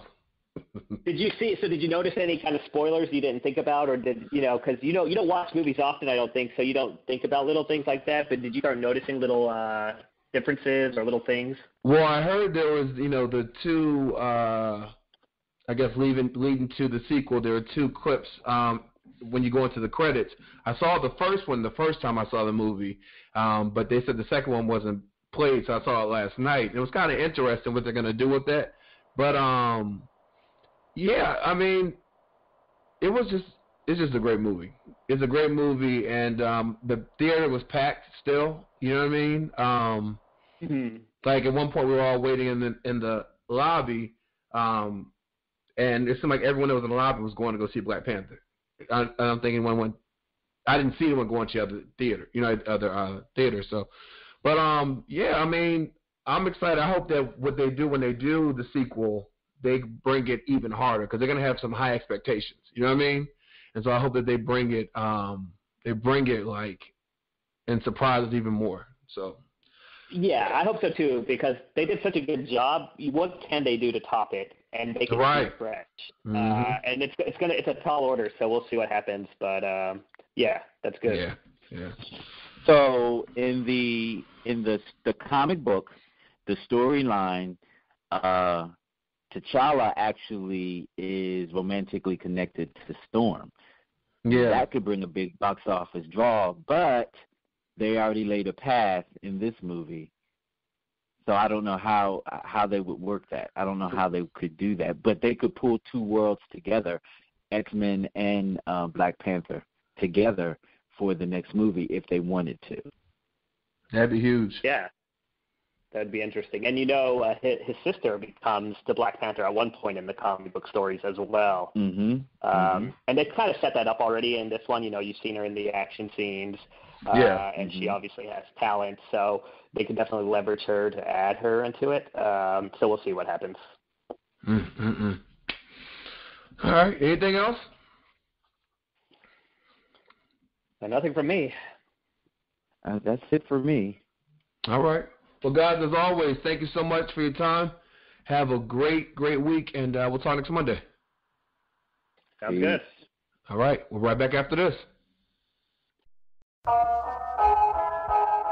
Whoop! Whoop! Yeah, yeah, yeah, yeah. Step up in the club, they like who that? They like who that? I said they step up in the club, they like who that? Uh, yeah, yeah, yeah, yeah. Step up in the club, they like who that? Money in the air, you know them boys blow stack. Bottles all night, tell them bring it to the back. Shorty on the dance floor, I'm trying to get behind that. Who that? Step up in the club, they like who that? Money in the air, you know them boys blow stack. Bottles all night, tell them bring it to the back. Up in VIP with my mama on my lap. Who that? Step up in the club, we party, no comparison. Niggas tryna ball forever. Marvin Harrison, them hoes getting fucked together. Probably sandwich them, you know I'm only about my cheddar. No interfering there. Bottle popping up in the air, money throwing in the sky. I'm tryna make a million bucks. That's our all time high. While you always mad we getting paid. If you ain't from the struggle, my nigga, you can't relate. My focus on the money. Most niggas get in the way. You in the way of my success, my nigga. Then you straight. Okay, you wonder why I don't talk much. I stay to myself. In the VIP sense and drunk around no one else. Step up in the club, they like who that? Money in the air, you know them boys blow stack. Bottles all night, tell them bring it to the back. Shorty on the dance floor, I'm trying to get behind that. Who that? Step up in the club, they like who that? Money in the air, you know them boys blow stack. Bottles all night, tell them bring them to the back. Up in VIP with my mama on my lap. Who that? Chasing De Niro, trying to make me a meal though. Shorty scheming, I have a demon, don't want no zero. Only chasing them cutthroats, she fucking with the stars. Trying to chase the ball without getting on the job. Me, I'm never worried. A hoe will never turn me on when money coming in. We battle like a free for all, you jeopardize that. More reasons to get involved. Stay low and always keep your circle small. You know they saying why he fly, shorty just trying to get by. I'm trying to get up in the rim bounce. You know how we ride. Club up in the slide. You know the cheese slide. Can't be with you forever. I need the cheese. Step up in the club, they like who that? Money in the air, you know them boys blow stack. Bottles all night, tell them bring it to the back. Shorty on the dance floor, I'm trying to get behind that. Who that? Step up in the club, they like who that? Money in the air, you know them boys blow stack. Bottles all night, tell them bring them to the back. Up in VIP with my mama on my lap. Who that?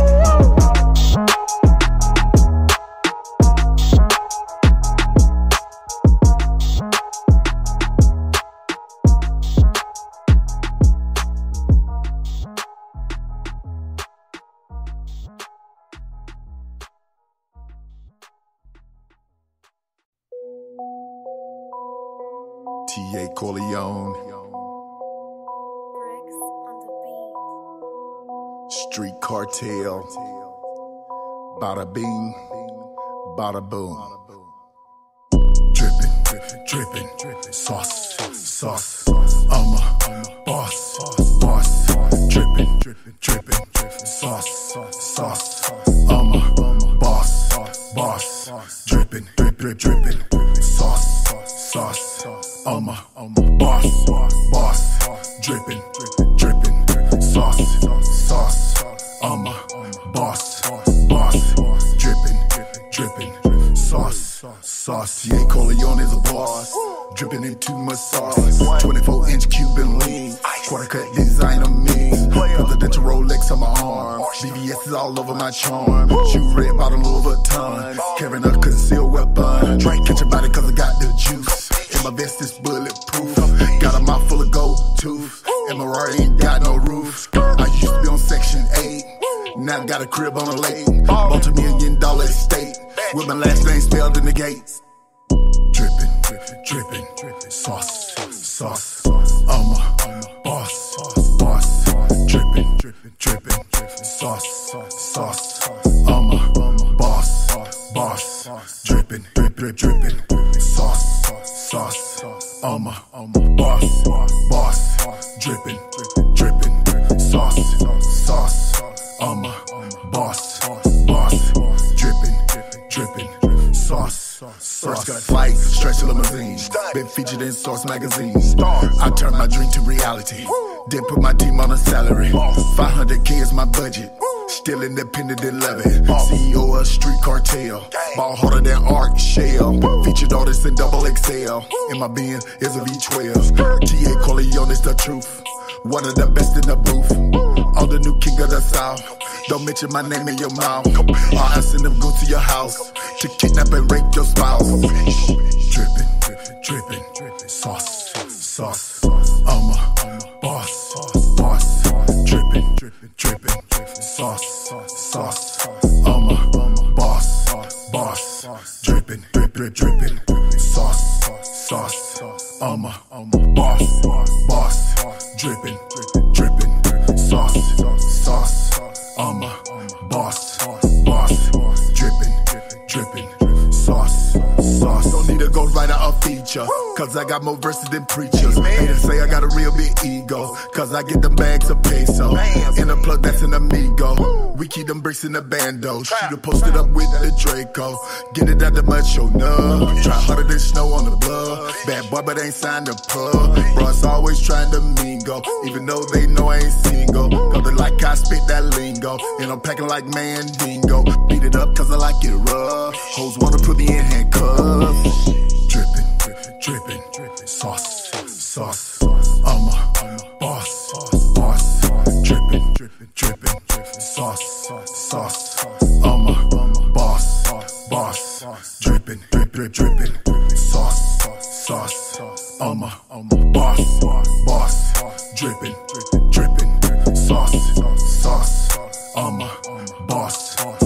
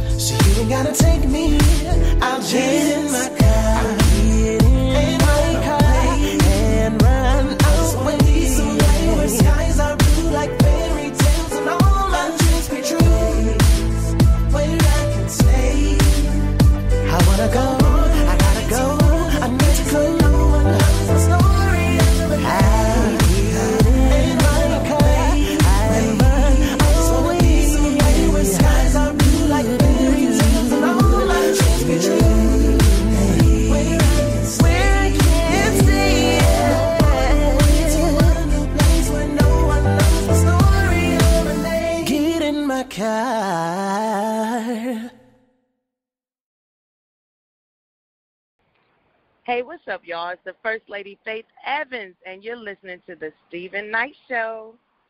Well, that's our show. I want to give a special shout out to Trina Broussard. Remember, her new single, Where I'm Supposed to Be, is available for download. And uh, also shout out to Rendy Achille. His his clothing line, Achille Apparel. You got to check it out. Go to the website. Go to our website, the Steven Knight, StevenKnightShow.com to find out information on both of these uh, wonderful people. Happy birthday again to Miss Ferguson, and happy belated to Miss Parker. They'll be back next Monday. Listen, you all have a great week. God bless. Peace and good night. Everything's gonna be alright. And when we get there, I'ma see a pretty, pretty, pretty young thing. I'ma ask her to take my hand, the floor, we gon' dance. And when we get there, best believe we're gonna do a two step. Ain't no here, so don't stress. Step to the right,